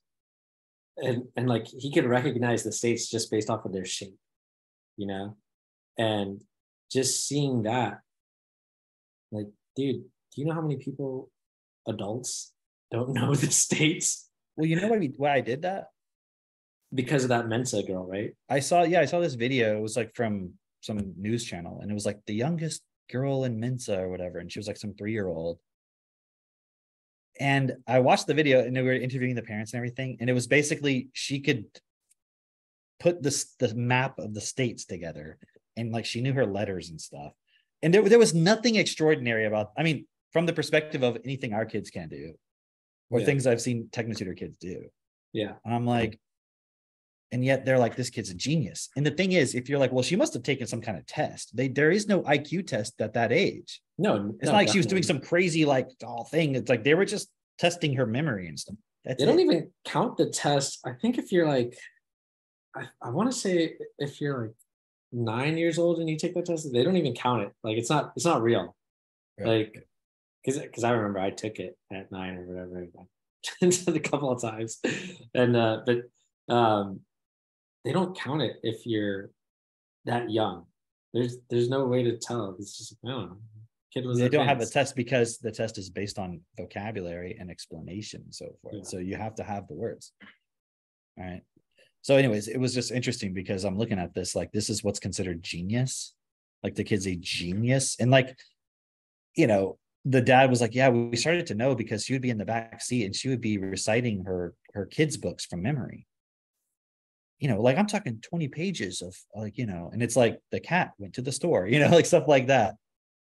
He's got a good memory. That but but see that's that's what parents and just our society in general thinks is intelligence is like you have a good memory and that's because the way our schools are designed the way our education system is designed is just to reward those who have That's- a good memory but that's also what the, where a big fuck up comes in too because they'll say that kids know the alphabet when they just memorize the song Mhm. now you have it masks the point of the kid whether the kid actually has integrated it or not and we know how to actually test and see does the kid know this actually or not right and so you're going to be able to prevent a lot of problems What, what's Yeah. interesting too is like you could be, let's say, a genius, right? Let's say there's memory geniuses in China right now that I know I cog in a machine in a fucking, you know, communist system.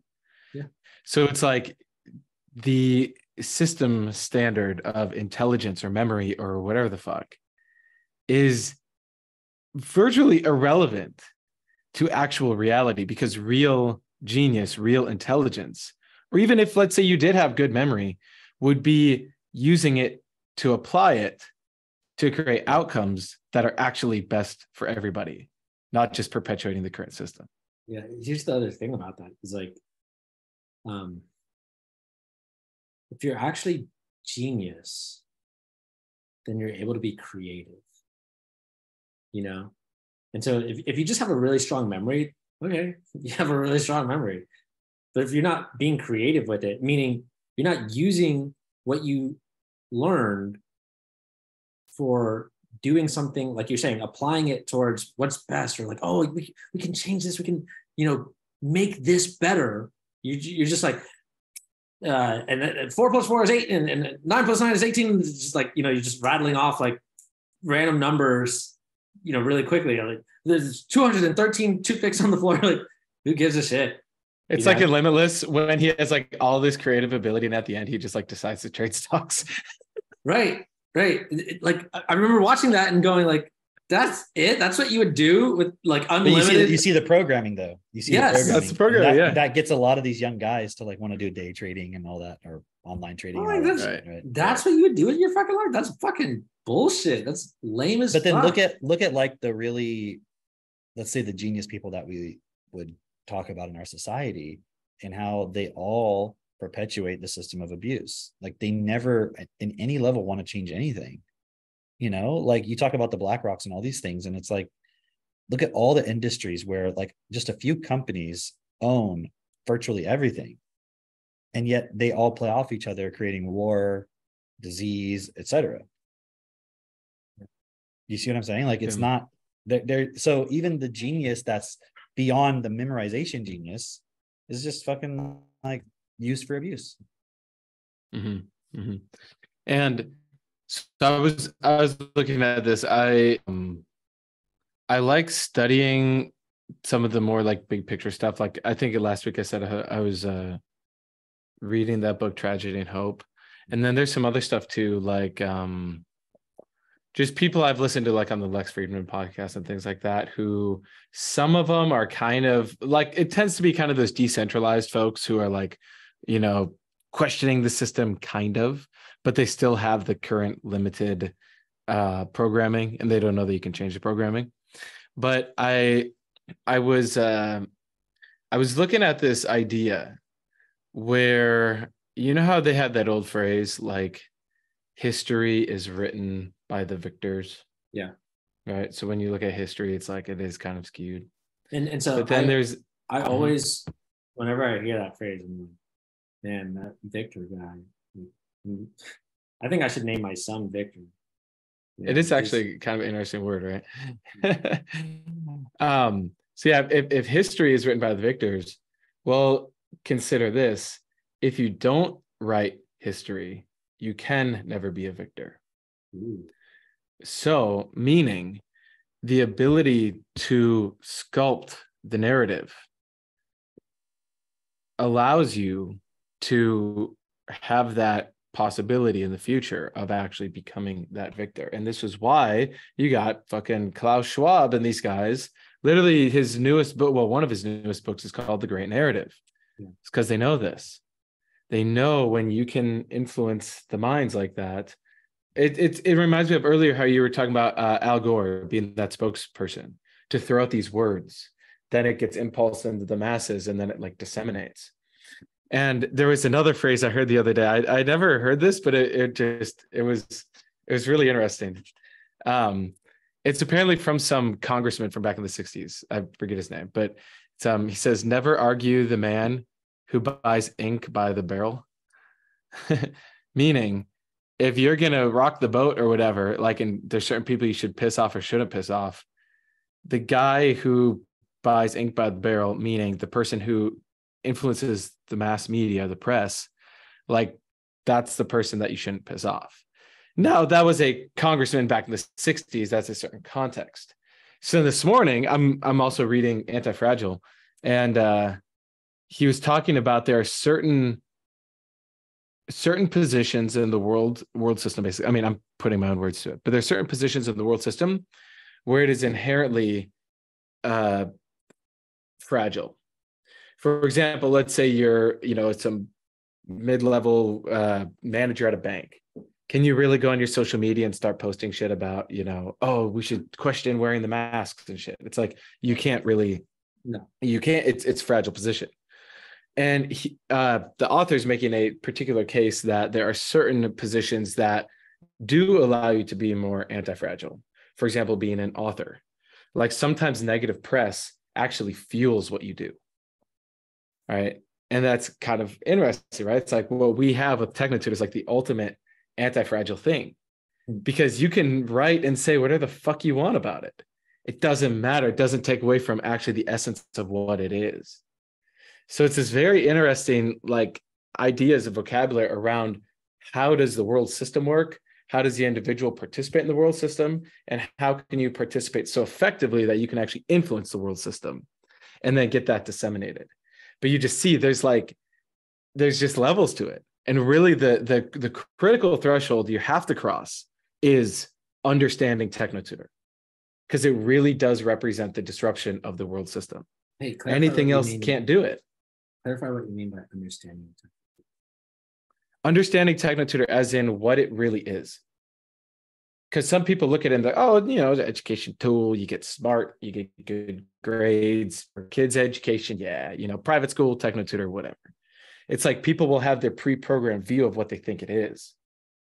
But at some point when you take it on for yourself and you actually study and you actually look at not just technotutor but then also like the blogs heaven's journey creation's journey the destiny stuff listen to the bernard audios and you really take it on you start to see okay as a human this is what i'm working with i have a body that had a natural learning ability when i was a child and i got programmed and now i'm a walking talking robot and now there are ways to reprogram that if it does not get reprogrammed, it will not change.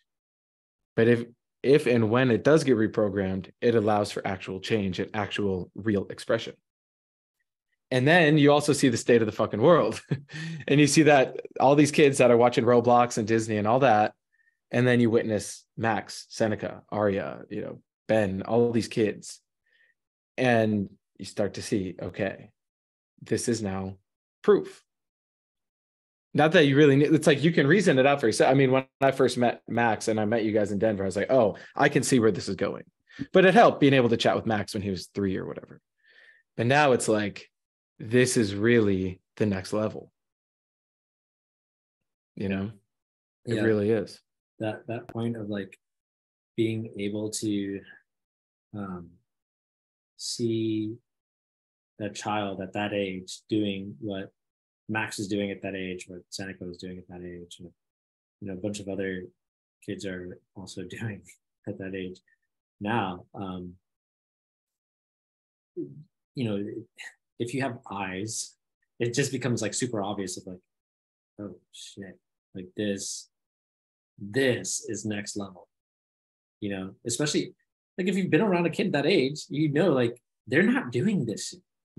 If you if if you go around any six year old, they're not, they don't know chemistry.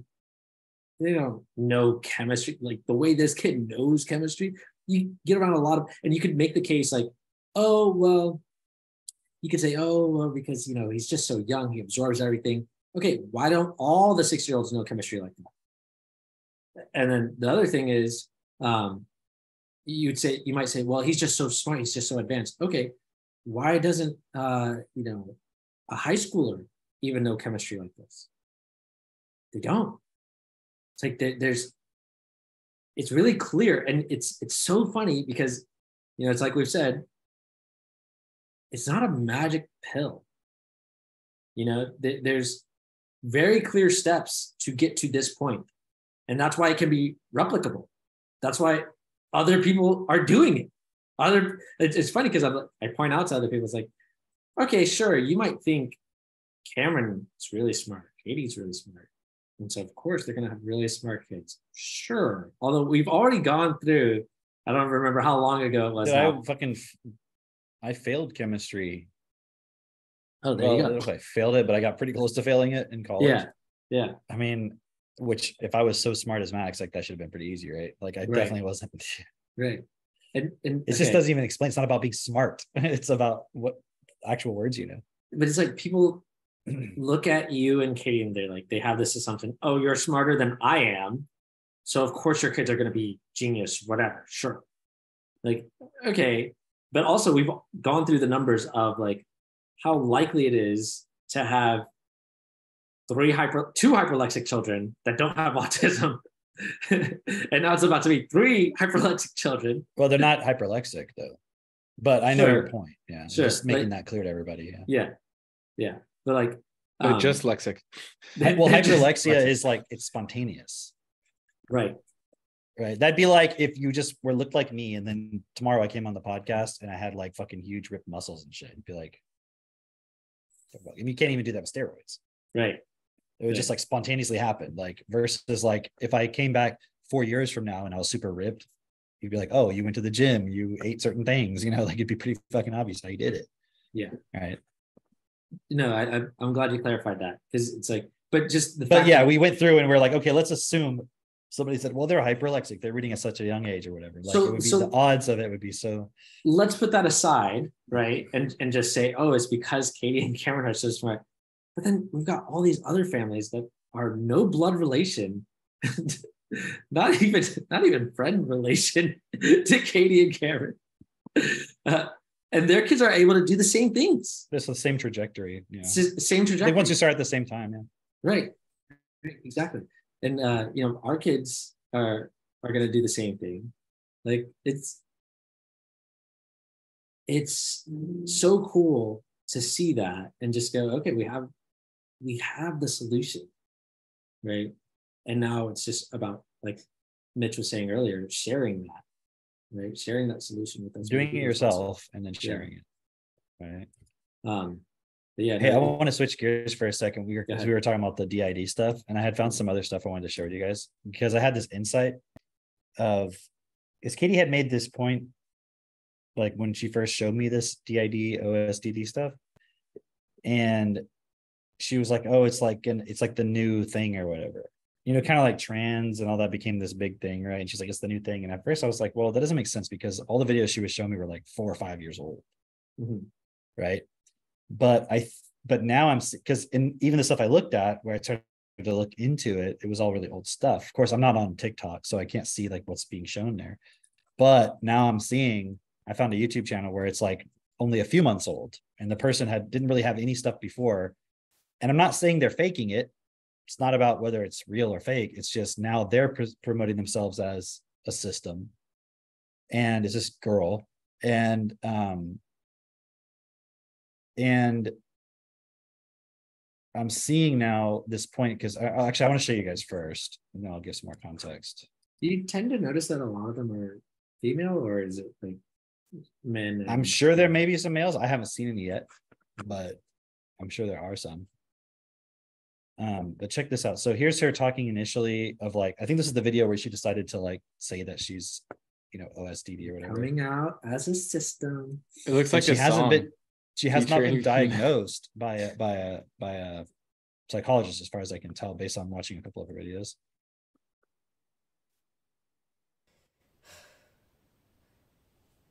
Hi. Oh my god, I can't believe she did that.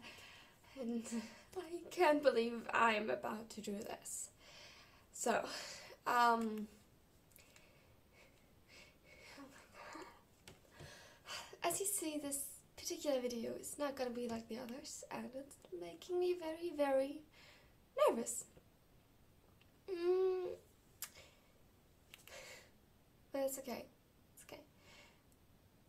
I'm the host of the lunar system. What that exactly means explains Hina to you who just randomly decided to record a video at 1 a.m.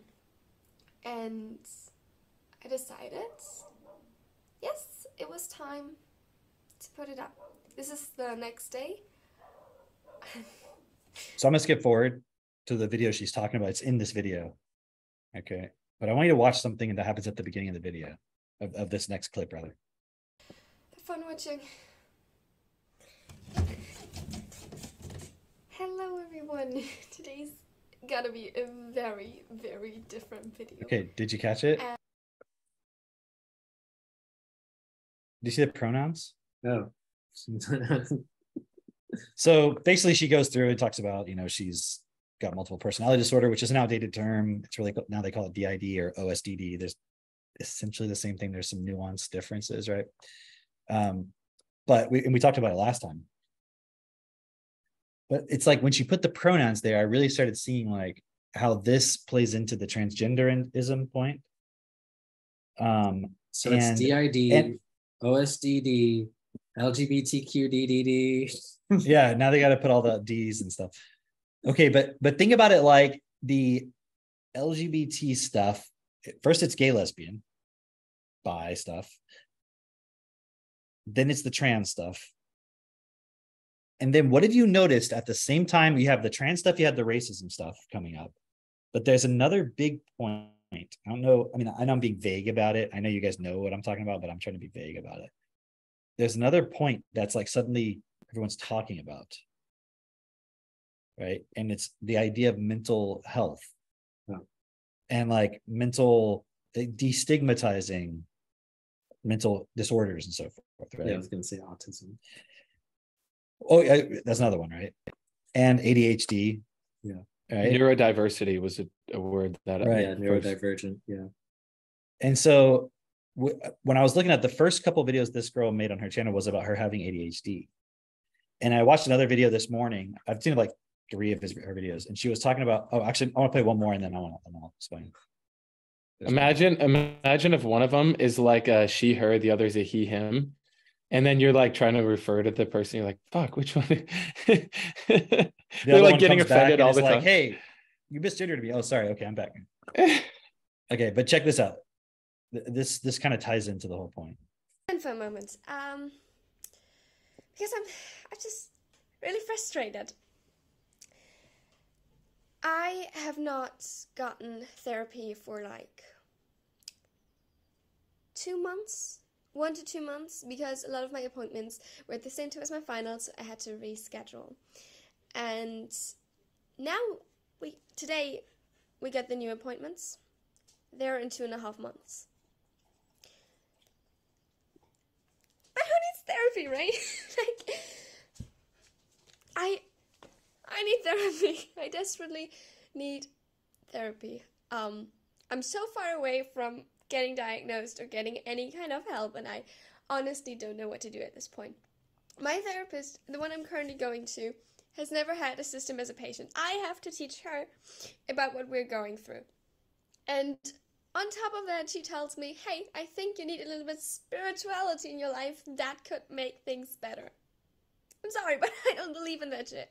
If you do, no disrespect, but like, I don't. I don't. It doesn't help me. I need someone who knows about this. And I, admittedly, I originally went to her because she knows about ADHD and is very accepting of it, which, great.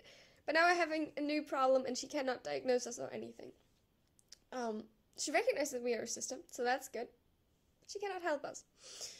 Still, I'm going to her. Conti- I continue to go there because I have no alternatives. And just talking to someone who might say something good at some point is at least something. But now I don't even have that anymore. And I still have 12 appointments with her left before I can look for a new therapist, which I tried that before there is no one here. In the close proximity, it was close to no therapist who could take us.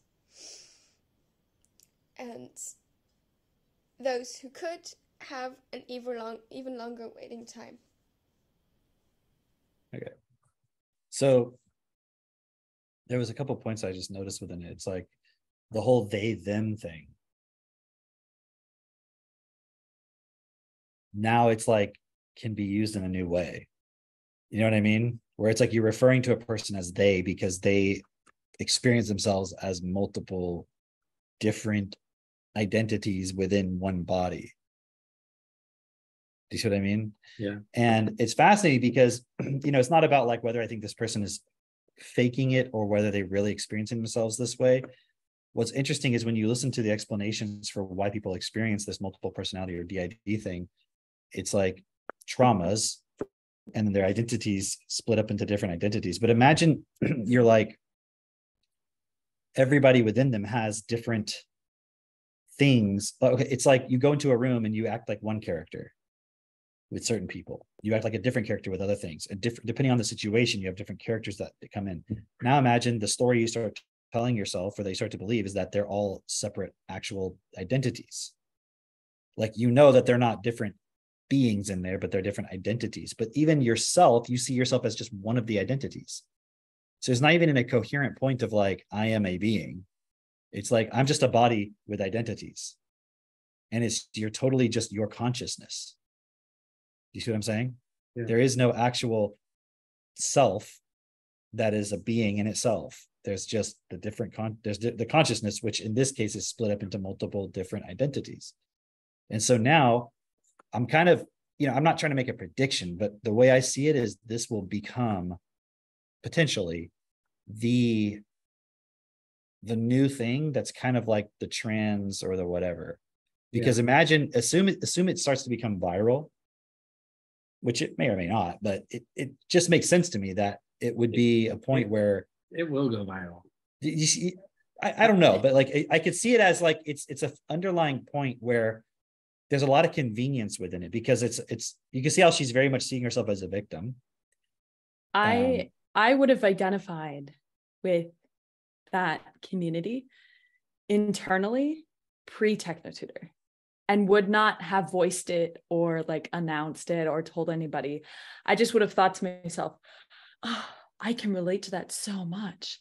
Cause I'm out there, you know, going to these metal shows and then I'm going doing this philanthropist like helping the community or I'm going sometimes I'd even It's like there's a helping Jess, and then there's like this dark one. Maybe that's like Yeah, that's yeah. Joe, you know, or whatever. Well, and and at the at the metal shows, it's like I would go into the mosh pit and like you've mutually agreed to hurt each other and cause pain to each other. You know, like that weird unspoken agreement in the mosh pit. And That's it's like social contract that they were talking about during, you know, the master. but then but then. I, I as soon as I leave the show, I'd never heard someone like that, you know? And I would I would give the homeless people everything that I had and all this stuff. And it's like just multiple different personalities of me for sure. And like I was getting to a point where like I had chopped off all my hair and I started to like really dress very eccentrically and oh one thing that i desired to become was like a a model that was like super flexible so like someone that like a, a extortion or a i forget what it's called. Not an extortionist. not an extortionist no. Contortionist? Like a Yes. Contortionist, yeah. contor- yes. A contortionist model. So then you're like taking pictures while you're in like these crazy positions. So i was like stretching and like getting ready for that and just all this stuff. And and like yet i wanted to be a writer. Yet i wanted to be a singer. Like i would go to these open mic nights with my ukulele. And i was not good like not singing on key like not good and the manager hated that i would go because he like was you're not good like you shouldn't be here but i'd go Like, it's open mic. and i'd go and i'd to you. You show up in a different outfit, and you're like, "Oh, I'm Joe now. Like, uh, I can actually sing."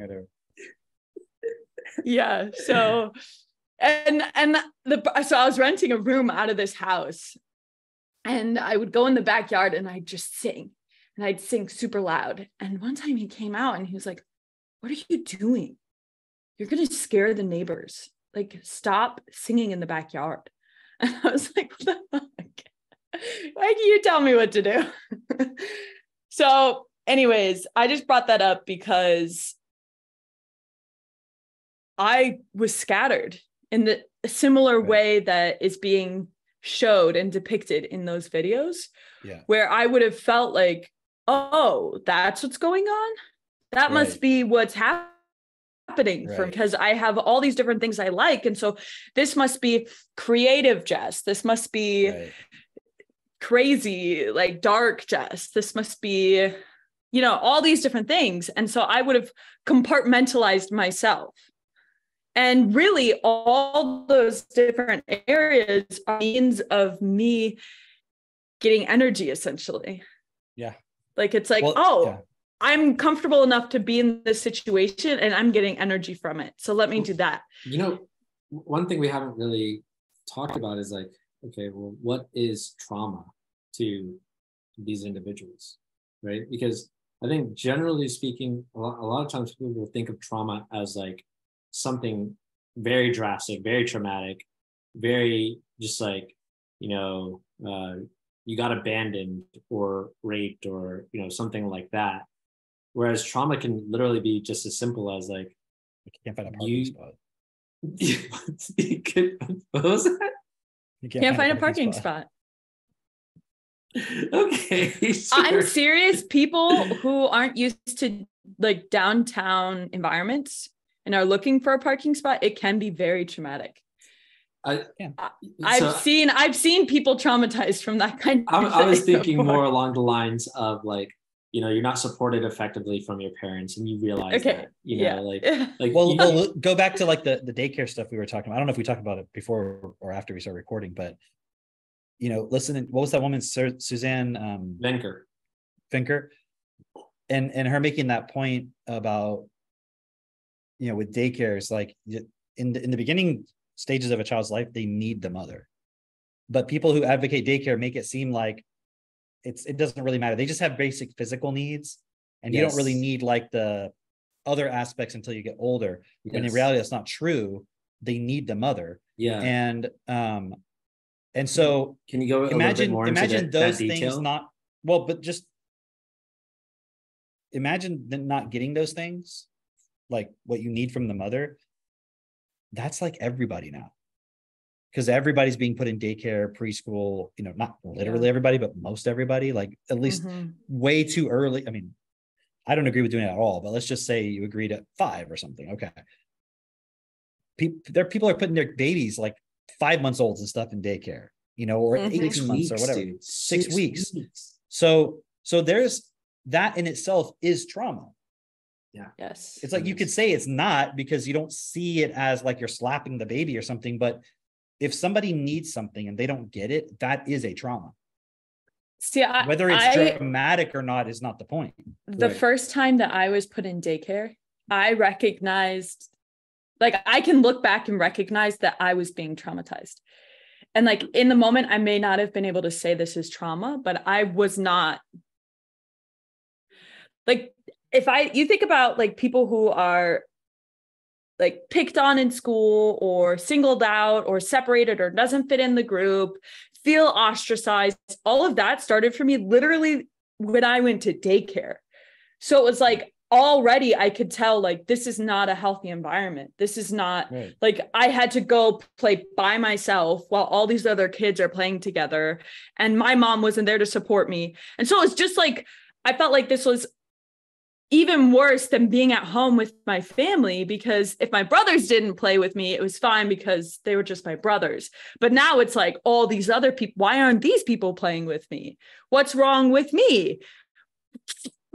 Like a tiny little child. Like, know, and then your mom isn't there to explain to you what's going on. At least at home, my mom could say, like, hey, they're choosing to do this activity and it's not really a good fit for you. Why don't you do this instead? You know, we're at daycare, you don't go up to the daycare lady because you're like a little oh, don't like you. I don't, yeah, yeah, exactly. I just got thrown to your house. I don't know for sure what the rules are here. Right. And you're just a little, and then I remember vividly one of the first times I was at daycare. What song does she play? And she played it every day. Baby shark do do do do do do baby shark do. Oh my gosh. that was I a thought you were rock. Welcome to the Jungle by Guns N' Roses. No, but it just I it just ingrained into my head. Like I just vividly remember being afraid of sharks because of that song. I thought like, my thought whole that a life- newer song. Anytime that I okay, I'm only 25. I'm like That song was not around. five when I years was- younger than you. I, I don't remember that song being around when I was going to date. That, but that song has been. Yeah, but you were for a done with time. daycare. You were probably in preschool. You I were don't know. probably What I in mean is the new the new version that everybody listens to is not the same. It's it's a song that's It's been different. around a long time. Oh, okay, Yeah. okay. and Uh, so- I but even in I'll- s- I'll just say this. I'll just say this I'll go. because I I can remember very vividly crying being dropped off at, at daycare. It was my family's fucking daycare. It was literally your house. It was literally. Well, it wasn't You like walk house. out the door. You're like, all right, go back inside. It was an time daycare." extension of your house. It, it was. It was like a. It was five minutes from our house. But you're also with all these other kids, right? Who right. There's, know. but there's Yeah. all these other kids. My grandmother's there. Uh, a couple of my aunts may have been there. you it's know. also the environment of daycare itself. It's not just that you knew the people. right. Right. There's a whole system. But I remember daycare. Crying like at the door, like struggling to Mm. not go inside the building, like holding on to literally Yeah. the things outside. And you know, like Dude, I said, remember when I was a kid, like my mom, because she'd have to go to work, she would drop me off. I mean, I went to daycare also, but at a certain age when I was younger, I don't remember exactly when, um, she would drop me off at my grandma's. Mm. And I remember one time, like my uncle was there and he like had cut his, he had shaved his mustache off. And that, like, I was like terrified. Who the fuck is this? You know, like, Yeah. I mean, I was very young. Wow. yeah, yeah, And like my mom's like, I gotta go. I can't, I can't do anything. They couldn't support me with it properly, you know? So like that doesn't seem like it's traumatic because you're not working in a coal mine. But you, there's I think there's a blog from Bernard. I know it's a blog, I don't remember which one, where he talks about all like the really violent like movies and stuff that are on TV or like on movies and stuff. Oh, and, yeah. and how in a way it's like the system uses it so that people feel within themselves like, well, I'm not that bad. Right. And so because Yeah. you see the thing about the kid working in the coal mine or being raped or whatever, it's like, well, my trauma, I mean, I, I just got dropped off at daycare. It's not that big of a deal. And it's like, you don't have to literally cut a tree down to abuse it. You could just starve it of water. Hmm. That's equally traumatic. You know what I mean? It's it's still gonna have a lasting effect on that person's psyche. I relate to that a lot. I've mentioned this maybe once on the podcast before, but when I had gotten into a car accident and was in recovery, one of the things that I would do is read autobiographies from World War II of just people who went through the concentration camps and like their experience because it was like, fuck, dude, nothing that I'm going through is at all like comparable to that. So this is nothing. And I belittled what I was going through. But what I went through was 100% trauma. It was Dude. very intense. And I I definitely like separated myself from my trauma that I was experiencing and like suppressed it through just saying like, "Oh, it's not that bad because all these other people out here are going through way worse." Like it doesn't mean that your trauma is less than. It just is different and affects you differently. Yeah. So It's like we just- have very basic needs, and if those aren't met, that causes a dysfunction. Yeah. So that's really the point. It's not about comparing trauma of like who's worse. It's like, Well- does it cause a pro- it's like you can have a major virus in your computer or something minor and it can still have a big effect on the computer, right? so that's the point eh, that I was trying to make is just like, okay, so the prerequisites to this DID, OSDD is some trauma. And literally, if you've been put into daycare, Yeah. you you got the requisite You trauma. qualify. Well, it, it's not necessarily like a prerequisite in the sense of a diagnosis. I, I actually I don't know that for certain, but because well, the OSDD is not in the DSM apparently. I haven't checked it, but I think the DID might be. Um, Yeah, but- it definitely is. It is, yeah. But the explanation for where the dissociation occurs is due to a trauma.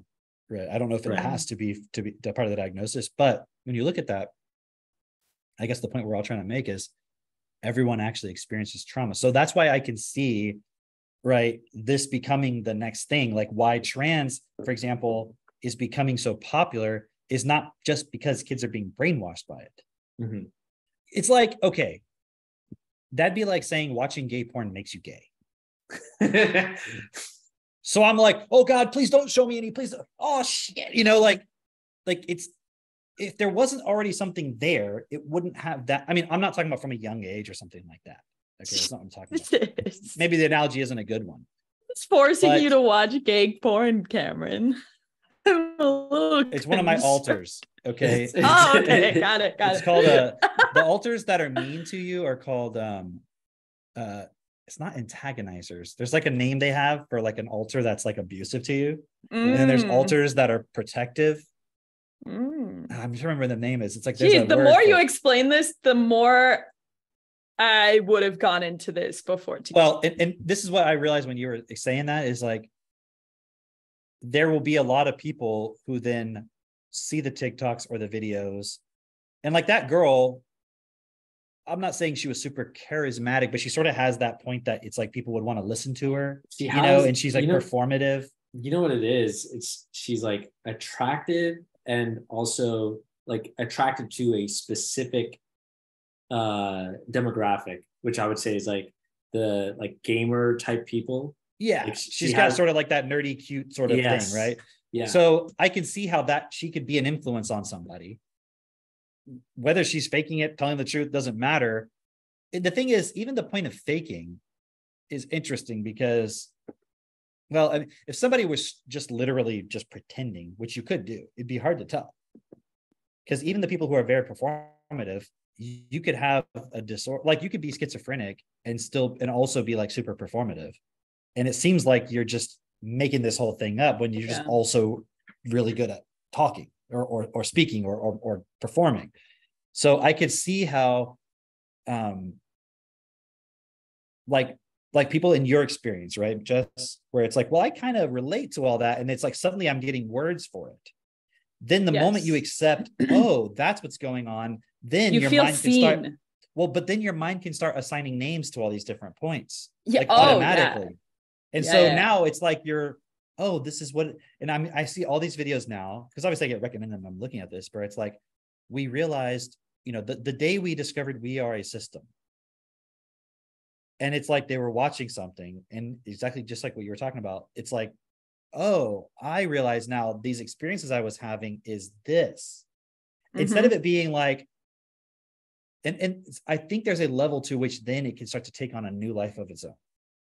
Because I've watched lots of videos of people who were schizophrenic, for example, or OCD, and it starts off, it can start off very mild, but then you participate in Mhm. it and it grows and it grows and it grows to the point where like God is Mhm. talking to you and you have a secret mission that you have to fulfill or everyone will die next year or something like that. You know, like it can get and blown. also also it's not just people who go into extremes that will be able to relate to this Right. because minor- yeah, people on a day-to-day basis while they're doing the dishes may feel like a different person than who they are while they're cooking because inherently like you're cleaning something or you're creating something you know? It's like there there's a different skill being used. So if you're just using plainly a different skill or like a maybe you're being creative here or you're being constructive here or disciplined here or whatever when you exercise a different muscle to do something you'll relate to that potentially where it's not necessarily this dramatic like i explained for me or these people in these contexts. I'm like grounding it so you understand like the average person could potentially be influenced by these videos just plainly by their day to day or or who they are when they go to work who they are when they order from the coffee shop that they always go to who they are when they're at home with their kids and their wife you know? Like those people naturally kind of play into different characters anyways Yeah. It's, it's like if it's enough, I think um and here's why I think it will go viral. Um, is because if it's enough to make you think maybe that's me, um, which these videos have that quality to them, then that thought will persist within you when you're doing other things. It's, definitely it's also even more accessible, I think, than the trans thing.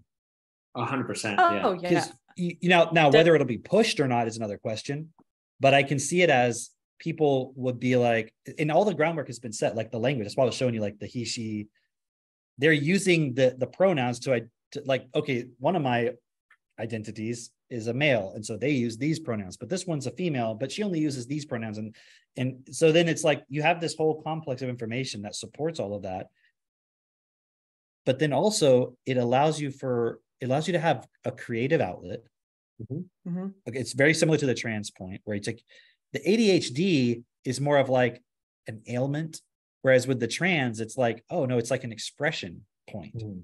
This allows for that, but it also gives you a really good excuse because you can be like, oh, I was late to work because so and so woke up, you know, front or you know, in the front Yeah. or whatever, and they they it they gives like it gives they a have this space for attitude or continuous whatever. And they have time blindness.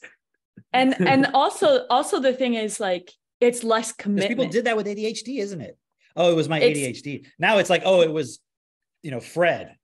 but you know, but it's less commit it's less commitment because think about it like if you go back to the 90s or early 2000s you can see different characters within different kinds of people there's the skaters there's the, Right. the guitar people or whatever like people have their little niche but now you're not just trapped by one little niche now you can have 10 different niches not be really that good at any of them because you have an excuse saying oh that's because these characters have been taking the show more than that character so that that skill's a little rocky or whatever Yeah. where it's like you're not having to fully commit to anything in life because you have all these excuses and these blame you can go into where this is why i'm subpar at life essentially Yeah. Right. What's going to happen to schools when you start, when children are starting to identify as systems oh, oh dude. jeez and you have to like, on the know all on your name on the paper susan the next day jacqueline the next day fred Like, And who it- I'm- I mean, I've done a little bit of research. There's like non-human alters. And we've and this Mm. might be the point where because I've I've always talked about I see the trans leading to the transhumanism, Yeah. but I think this might be one of the necessary steps in between. Because it's like really breaking the last sense of I am a being in myself at all. Like it's one thing to be like, I'm a being, but I'm male and I'm in a female body. And so there's a disconnect and I need to be accommodated for. Right. I, I can see the logic there. But then it's like there's but that's still holding on to a point of like it's like you have a soul. There's a there's a there's something in there that's you in your yeah. body. It's like you're just like- a construct of your consciousness and your experience, and you're one of multiple identities. All, and who I am, who I am at this time, who I am in the metaverse, who I am in the metaverse when I go to this place in the metaverse, who I am in the metaverse when I go to this place in the metaverse. who like it's like all it's those like you look at a policeman, right? They're not that same person when they go to church. I mean, they might still retain some of those characteristics, but they're not like wearing the uniform playing that role. And so I can see how like everyone has all these points. So it'll be like that that perhaps next step to getting people to just be like, look, you're just a fucking I can see that. computer software in your mind. And why even identify with your body at all? Yeah. Definitely. You know? Yeah. Just forcing people to go into their minds even more Right. and not be physical. separating even more. Yeah. And it, and it's funny because you see people with these mental illnesses and typically well almost always you can see the physical effects on their body whether they have dark circles under their eyes their skin is slightly yellow or whatever. It's like you could see that they have physical consequence for them focusing on their mind focusing on all these characters and all this instead of actually focusing on supporting their physical body. Maybe they're oh super overweight. Maybe they're super underweight. Maybe maybe it's just small little things but it doesn't matter. Like there's parts of their physical body that is being neglected and not effectively supported Yeah. It's interesting because like all these things that we're talking about, like with the trans stuff, the DID, OSDD, whatever, um, you have to be abused in order to accept it. Like regardless of like whether it's you were exposed to this stuff as a young child, you didn't have anything else, you know, to to understand any different. That's abuse. Or if you know you grow up and you feel like you're just not connected with your body and then this thing comes in to give you an explanation of like oh it's because you're trans or because you're actually 10 people in one or whatever it's like and then you accept it. Again that just comes from abuse. You know that point you were bringing up of like how when you went to daycare and then you felt like this situation isn't right. right. That's how most people feel, and increasingly more. It's more obvious just being in our society. Yeah. And that's why I see all these things starting to become. They're going to become more and more prevalent because, as we've been saying this since the beginning of this podcast, it's like society is not structured in a way that's actually best. It doesn't care about you. Neither is the daycare. Like think of the daycare as like just a small example. It's not structured in a way to actually meet your needs. It's like, no, you fucking sit there. I'll give you some juice and a graham cracker. Like that's why to this day I don't like graham crackers and orange fucking Kool-Aid. You know, Kool-Aid. because or I don't know what it was, some fucking mix, you know, maybe it was Tang. I don't know. oh okay, You know what I mean? Some Hey, orange drink, right? sense. Some Damn. orange drink, right? i thought Um, it was sunny d I don't think it was Sunny D. It was Sunny something D's else gross that was a little bit more diluted. Yeah. well but it's like it's yeah. not designed with you in mind at all. You know, it's just a system to manage you and to keep you going to the next point. So that's how i feel about goldfish crackers same. Mm. guys hating on all my snacks hey i i buy this this like organic brand of graham crackers Mhm. and i actually those smack those those are you know That's actually i saw Smackers. I saw that uh, uh, Katie, geez, I can't remember. uh, Katie had made some uh, granola bars. Those looked really delicious. Those look Yeah. They really were good. The kids really like them. I didn't prefer them just because she had peanut butter in them. But Oh, dude, I'd love that even more. The fuck? but objectively, they are good if you like peanut butter granola, you know, graham cracker. hey granola i learned i learned good. about peanut butter that some people's bodies treat it as a kind of like a stimulant As an alter. but it's an edgy, like it it, it creates kind of like the jittery, kind of feeling irritated with everything when you eat it. Um and it- it's actually peanuts. Yeah, Well- maybe that's an allergic reaction. Uh, just to clarify on the record, no. I actually like peanut butter. I just like it by itself, like on bread or something. I just don't like it in things. You don't like like Hmm. wait, hang on. Peanut butter. I just I don't want anyone out there to be like Cameron doesn't like peanut butter. Never give him peanut butter. He can't have peanut butter. Peanut I butter like peanut- cups. No, I don't like peanut butter in stuff like chocolate or. Wow. wow. I just like a piece of bread or toast with peanut butter on it. You Even if I stop have a peanut butter jelly sandwich, I want them separate. I don't I want them like I like Okay. peanut butter. I like peanut butter a lot. And I recently started making homemade peanut butter because I got all these raw peanuts in bulk and I've been roasting them and then turning it into peanut butter. And it's so good. And I'll put sometimes honey and like cacao in there and kind That's of make cool it idea, into like I never thought about doing that. and it's it's super good. How do you how do you blend it up? Do you use a processor? Just my blender. I like a don't I don't have a process a food processor yet because my blend it's a Vitamix, so it does a pretty damn good job. And I just put in the Vitamix and But can you use a Vitamix as a food processor, Pretty much, yeah. or is it Pretty just as a blender? No, 'Cause I have a Vitamix. no, no. We have one. Vitamix. well, the Vitamix actually has a separate thing you can put on top that's for dry ingredients. So you can also like mill flour and that's true. mill flaxseed and different things like that. I'm wondering because our, Um, our in the our dry container. recently. Oh, try using the Vitamix. It doesn't allow for as much control in how small like you pulsing? grind things up into. yeah. Like pulsing isn't as good, but um it's been sufficient enough for me to not have to get a food processor thus far. This part of the episode brought to you by Vitamix. Um, you, I gotta bring go, the- guys. the I gotta go. is cool. Okay, thanks for sharing Yes. that. I like the peanut butter idea because I'm like, oh, you can make your own peanut butter. Dude, uh, I make my own peanut butter all the time. Oh, she like literally left. She's like, I gotta go. Mitch cannot come back either. Um, I like we we I know you know this, but we started making uh candied jalapenos. Dude, I saw that and I was like, fuck, I hope there's enough for us. like, The thing is, the recipe I looked at, it was like this particular recipe. It was like to put like, so you put apple cider vinegar, Mhm. sugar, some Mhm. salt. I didn't have salt in it, but it had celery salt okay. and turmeric and like garlic or something. Ooh. And I was like, mm, I just like them when they're like sugary. Yeah, just like I'm sweet. Right. So I just used the same method that they did, but I just put sugar and a little bit of salt and not much, but a little bit, and then the apple cider vinegar. Yeah. Yeah. So we'll see how it goes. I think it'll turn out just fine, like sweet jalapenos.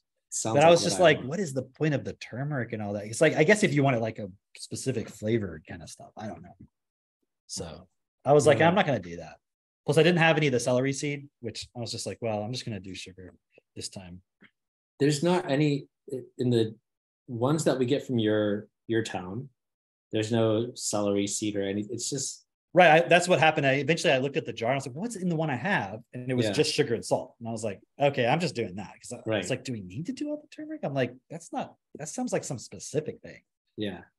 So, but you but you're supposed to like, so now mm-hmm. here's the thing. It said to put it in the fridge for three to four weeks. Okay. But I'm like, do I have to do that if I'm doing like the turmeric and all that stuff? I'm not sure. So Katie was like, well, just do it. Just leave it in there because we still have some from somewhere else. So we'll Dude, see. We'll see. Yeah, I'm, I'm sure it'll taste delicious. I'll, I'll come over and try it. That was my candied jalapeno alter speaking. You want to hear something funny? Um, the other day, I left to go somewhere. I don't remember where, but when I came back, our neighbor, um, she's always out on the balcony, and she's been for the last few months now. Um, whenever she sees Christine, she would just yell out, "Hi, Hazel!" Because she she stopped Christine one time and asked her she was expecting. And this is like an older black woman. She smokes literally three packs of cigarettes a day. I'm not even, I don't think I'm joking. Like literally, she will be out there for hours and you'll you'll just go outside and there'll just be a cloud of smoke. And she's up at like 5 a.m. starting smoking. We're like, how? Like I got work to do.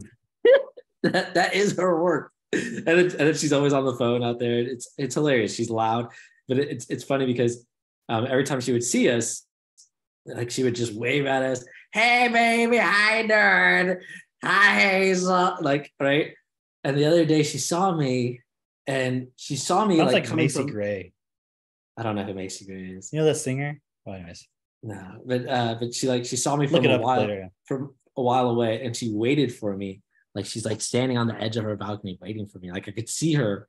Like she's waving me down. I'm like, hey. I come over. And she's like, um, she's like, baby coming any moment now. You you waiting on the baby? And I was like, uh, no, the baby's here. And she's like, oh, baby's here. Oh, she got it from the hospital. Said, no, we had the baby at home. Had the baby at home. Had the baby at home. On purpose? I was like, yes, on purpose. So that's what the doctor was here for. The doctor and the nurse. That's all seen that it- fucking noise was last night. I was like, yeah, no, th- we did it on purpose. The doctor's here. Doctor said she's fine. She's like, wow. Well, tell tell your wife I said hello and congratulations. I was like, okay, cool, thanks. but it, it's really cool because um, I like how it's like on purpose.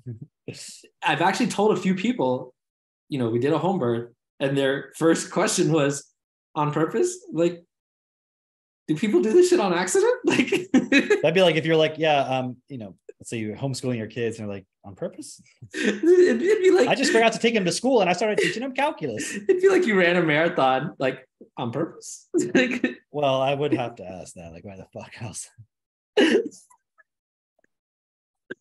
Yeah, no, no, but it's been great. It's been great. Um, I will say this: it was uh, very intimate uh, and exactly what we wanted as far as um, the birth of our child or, or the the first moments of her life in in this world. And uh, man, it, it's it's cool. Like like you said, like homeschooling your child. Like we're, we're doing it, it takes more responsibility to have a home birth. Um, but if you actually want, like, you know, I understand some people, there are complications that come up, all sorts of things, right? Where a hospital may be necessary for some. But as far as like planning it out, like people don't even plan to, you know, have a home birth. They they plan to go to the hospital and like It's they'll even like with school. It's like you just, of course, you're putting your kids in school, right? It wasn't even considered as an option? Right, exactly that. Exactly that. It's just like, you know, in order to do a home birth, we had to take on more responsibility, which meant Christine was educating herself so fucking much, watching like Hmm. Almost like that's the problem here. yeah, yeah, right. But but she was able to like learn literally everything. And I would I would come up to her and I'd be like, because she was the one who was educating herself. She's the one who's gonna give birth. But I'd come up to her and I'd be like, you know, I have this this fear. And she's like, oh, I already walked through that fear. And I'm like, what? She's like, yeah, I looked it up. Here are all the possible things that could happen that way. And it's this, this, and this. And you know, I looked at my fear of that possibly happening. But if that were to happen, then this is what we would do. And I'm like, holy shit. Like that is cool, you know, to be able to face your fears. And that was one of the things that like the the midwife was suggesting was you should look at what fears you have in this process before we get to the point where you're having you know you're in labor and then all the fears are coming up and you don't you're you're freaking out you know because you're you're afraid. Um and I was, I was just thinking of that because it's like you said it's just like people are just going to put their kids in school they're Well, not taking, a lot of the people who I've talked to who tried to do home births didn't do that. Hmm. They just treated it like you're just gonna go to the doctor, you know. And so I'm not saying they didn't do anything, but they didn't really apply themselves like within the process that we talk about, you know. And I know Yeah. Katie did a lot of that, right? Obviously, you know, so it, it makes a difference. So it's kind of like with the school point. Yeah, if you just are like, well, we're just gonna homeschool our kids, and then that's it and then you think day one this is going to be like you have to direct the point Yeah. You know, but what we're trying to show with TechnoTutor is like with our kids, we're not schooling them, we're just giving them the vocabulary and supporting them and exposing them to cool stuff and letting them and then we talk about it. We know we're always talking and nothing is ever surprising to me that they know it. You know, I'm not like, what? How did Max learn chemistry? It's like, well, I bought him the books and I bought him, you know. It's always It- cool when it's you see it, but it's still really impressive you know just like just the fact that he can sit there with a book and just come back and be like okay so let me tell you about all this stuff that i learned. And you're like what? I bought I bought a bunch of books recently, but three of them came at one time, and they're you know novel form mm-hmm. for nine to twelve year olds, okay. And Seneca's already read them, and she'll tell you all about what's in it. And I look at the back, and I'm like, that's a lot more detail than what's on the back, yeah wow you know. wow And so like now I'll we'll, we'll find her just like in the room and like at the living room in her bedroom. She'll just be sitting there reading for like an hour, So like cool. not picture books. yeah And she'll be five in October. that's so cool that's You so know? cool And again, none of this was spontaneous. None of this was, well, they just were readers. Like every step of the way, we've supported the development of their vocabulary to the point where now it's obvious why, you know. you know what's what's funny is i have come across people who their kids were hyperlexic like spontaneous you know hyperlexia where and I, you know some of them that i've met like their kids are clearly autistic as well you know where they're just like very irritable you have to do what they're saying and they, they don't want to they don't want to do anything outside of their routine or whatever it is um, They're dysfunctional. Yes, yes. And then others of them, like uh, they didn't have that. But when I asked the the parents, like, so okay, you know, your kid reads, how how is that? I don't know. You don't know. I don't know. Okay. Um, what are you gonna do with your other kid? They have another kid that's like younger or something like that. And what are you gonna do with them? I don't it's not happening. I don't know what to do with this. Right. Right. It's not like it happens again. Right. That's why it's very rare that that occurs. Extremely Right. rare. it's it's interesting how, how that works and and and so, So we're not leaving it up to chance. exactly exactly that we're not leaving it up to chance because um a lot of times like, That's- okay, could there be some kid who's born a chess genius?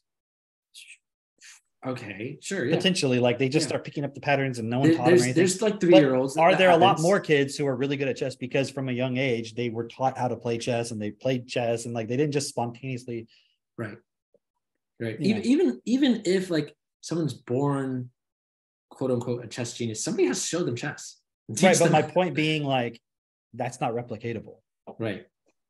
So you you wouldn't have another kid that's just born a chess i mean i'm not saying it's not fit, possible theoretically but it's not what's going to happen. Right. So we're not doing that. We didn't just like oh our kid's really smart. Okay cool. Like wow that was great. Like yeah. we've been using technotutor before they were born. Right. Right. That's what that's what people don't get. Like and you know it's, it's uh not uh trying to call them stupid or anything. I'm, I'm just saying like that's where our responsibility comes in. It's like how, how are they supposed to get that how are they i mean these stupid people that don't get it are just hypothetical anyways. We're just imagining these people who don't get it. They're just in our minds. But the point is let's say there's somebody out there who doesn't get it. Yeah they don't get it. Right right. It's like they, they just have to be directed. That's all. It's like we we have to get and it's the same thing within ourselves. Here's what i wanted to share before we wrap up because i know we've got to we got to go. Like Yeah. soon. but what i wanted to share was this. I was listening again and i don't know why but i, I just felt the urge to listen again to the will to forgive right? And i was listening to that and it it really hit differently this time because he's explaining bernard's explaining this point of free will right and as he's he's he's basically saying like you know self will you, you got to have self will you have to will yourself and if you don't it's like he, he keeps bringing up the phrase uh thy will be done right? Well, actually, your will is being done because you're allowing your mind to direct you. You're you're allowing that to happen so that you can continue getting your quote unquote free will. But even as he's like explaining free will, like I, I realize like, oh, I, I see free will differently. Like free It's will still to your me, will. It's just you've but automated. hang on, hang on. Free will is a scam. That is a con, actually. Free will. Like look at just the name of free will. Like it's, it's like to get you to buy into it. It's like because Bernard keeps bringing up this point of um you Oh know, yeah, like a free choice. Like you just get this choice for nothing. Like there's no- Exactly. There's no cost. Exactly. Exactly. It's and so he, he keeps bringing up the point of it's free will, and you you say you have free will, and you convince others that they have free will, so that you can continue holding on to your free will, right? It's it's like, oh, you it's want just- you you you want to accept the concept of free will, so you don't have to actually exercise free will. right, right, and and so it's super interesting. Just seeing that is like that in itself is a scam that I was, and, and it's it's almost made to sound like um like when you're asked do you have free will? you you automatically want to say yes of course. Of course. I'm free to will myself however but then it, it's turned into this philosophical or does god ordain it? Or, or this or, Do we have free will? And that's like uh, completely beside the point completely beside the point where the real question you should be asking is are you directing yourself effectively like are is, is it actually you making these decisions and you're deciding i'm going to do this and then you stick with it and you make it happen Even if it's automated. yeah Did you put that automation into place on purpose? Right. Right, right, right. Or are you just going along with, oh, this this bright idea just came out of nowhere, and I feel like doing this at this moment, and I don't feel like doing this at that moment, and so I'm, I'm going to do the things I feel I'm not going to do the things I don't feel like, and, and you're just kind of going along, and I I just can't help myself. Oh, I, I just I, is that is that you? Because then in that case, you don't have free will. You, you're not, excuse me, you don't have self will, right? You're not directing yourself, and that has been just like really cool again to listen to and just look at those points of where am I or where are we abdicating our will? Where are we like in, in a sense um just allowing allowing the circumstances to be what they are and just kind of saying blaming on something else you know uh you know it's this it's that whatever. But then not actually taking it back to what have i allowed to create these conditions? Um and you know i'm not going to be able to explain It. it's an hour and a half long audio. Go listen to it. But a lot of the context that's given is actually really good because it's circumstances that are like relationships and things that you would you would generally the average person would say i don't have any control over that i couldn't control that other person or whatever but it's like how you participate in that you're participating in it you know like even even like okay you're having a thought that you don't want to have why does it keep coming up because you participate in it if you want the thought to stop stop participating in the thought It's like with all the DID stuff and all that. It's like they're Yeah. actively participating in it. Same thing with all of these points. yes yes. Um and i can understand i can understand why it would be a challenge to stop just stop oh i'm, I'm just going to stop participating in these thoughts. You think i want to have these thoughts? I can understand that. But that's why we have the tools that we have and the community and the support and the education and all of it so that you can do that. And it's the same way just like i'm going to tie this back into the home burn. It's like you can educate yourself to do that effectively. Or you can just kind of like, oh yeah, I'm just gonna run into it and, and just do it and like, oh, it didn't work. Oh, it just Right. wasn't for me. Or or I've heard a lot of that. It wasn't for me and all that. Yeah. you know, So, like, no, you didn't. Yeah. exactly. It's it, or or like putting your kid in, in daycare. Well, not everybody can do it. It's like, did you even look at like why you'd want to be home with your kids or why you maybe might not want to put your kid in daycare, like actually look at it and what are the benefits you're getting out of this? What what do you what do you think your perceived pros are versus the cons? And then and then like that's in your mind. Let's match that up with reality. It, it, it's this education process, and again, we it's so cool what we do. I'm so I, I want I wanted to say please, but that's not really the I, I I really appreciate what we do because it's actually the solution. You actually have to educate yourself. And it's not just this point of like, if I were to teach you algebra and then you can't do it, you're not educated. I'm sorry. You could say you went to school, you took those classes, whatever. But it's not even about the classes or anything. It's can you educate yourself? Can you learn? Are, are you are you open to change? Like are you, when you're in this position, can you adapt? And most people, 99.9999% of people, the answer is no. And we have, I've seen for myself, I thought I was adaptable. I thought I was one of these adaptable people. And then I learned, like, holy shit, there was all this thing, all these things within myself that I thought were just who I am and permanent structures of my personality and I've completely changed those things, which is how I've been able to have the relationship that I have now, the child that I have now, like the the the family, the support, the community, like all of this is because I changed those things I thought were immutable. You know? Um and and that's a result of this process of the tools that we're using, this community that we have. And so again, just sharing this because like okay, I did it for myself. It's really cool. And now I see the value for others to do this, especially because it's not just going to support them, but it's also going to support my future children, my child now and, and future children as well. And um, that's what we're here to do. I know we got to wrap like now, but I agree.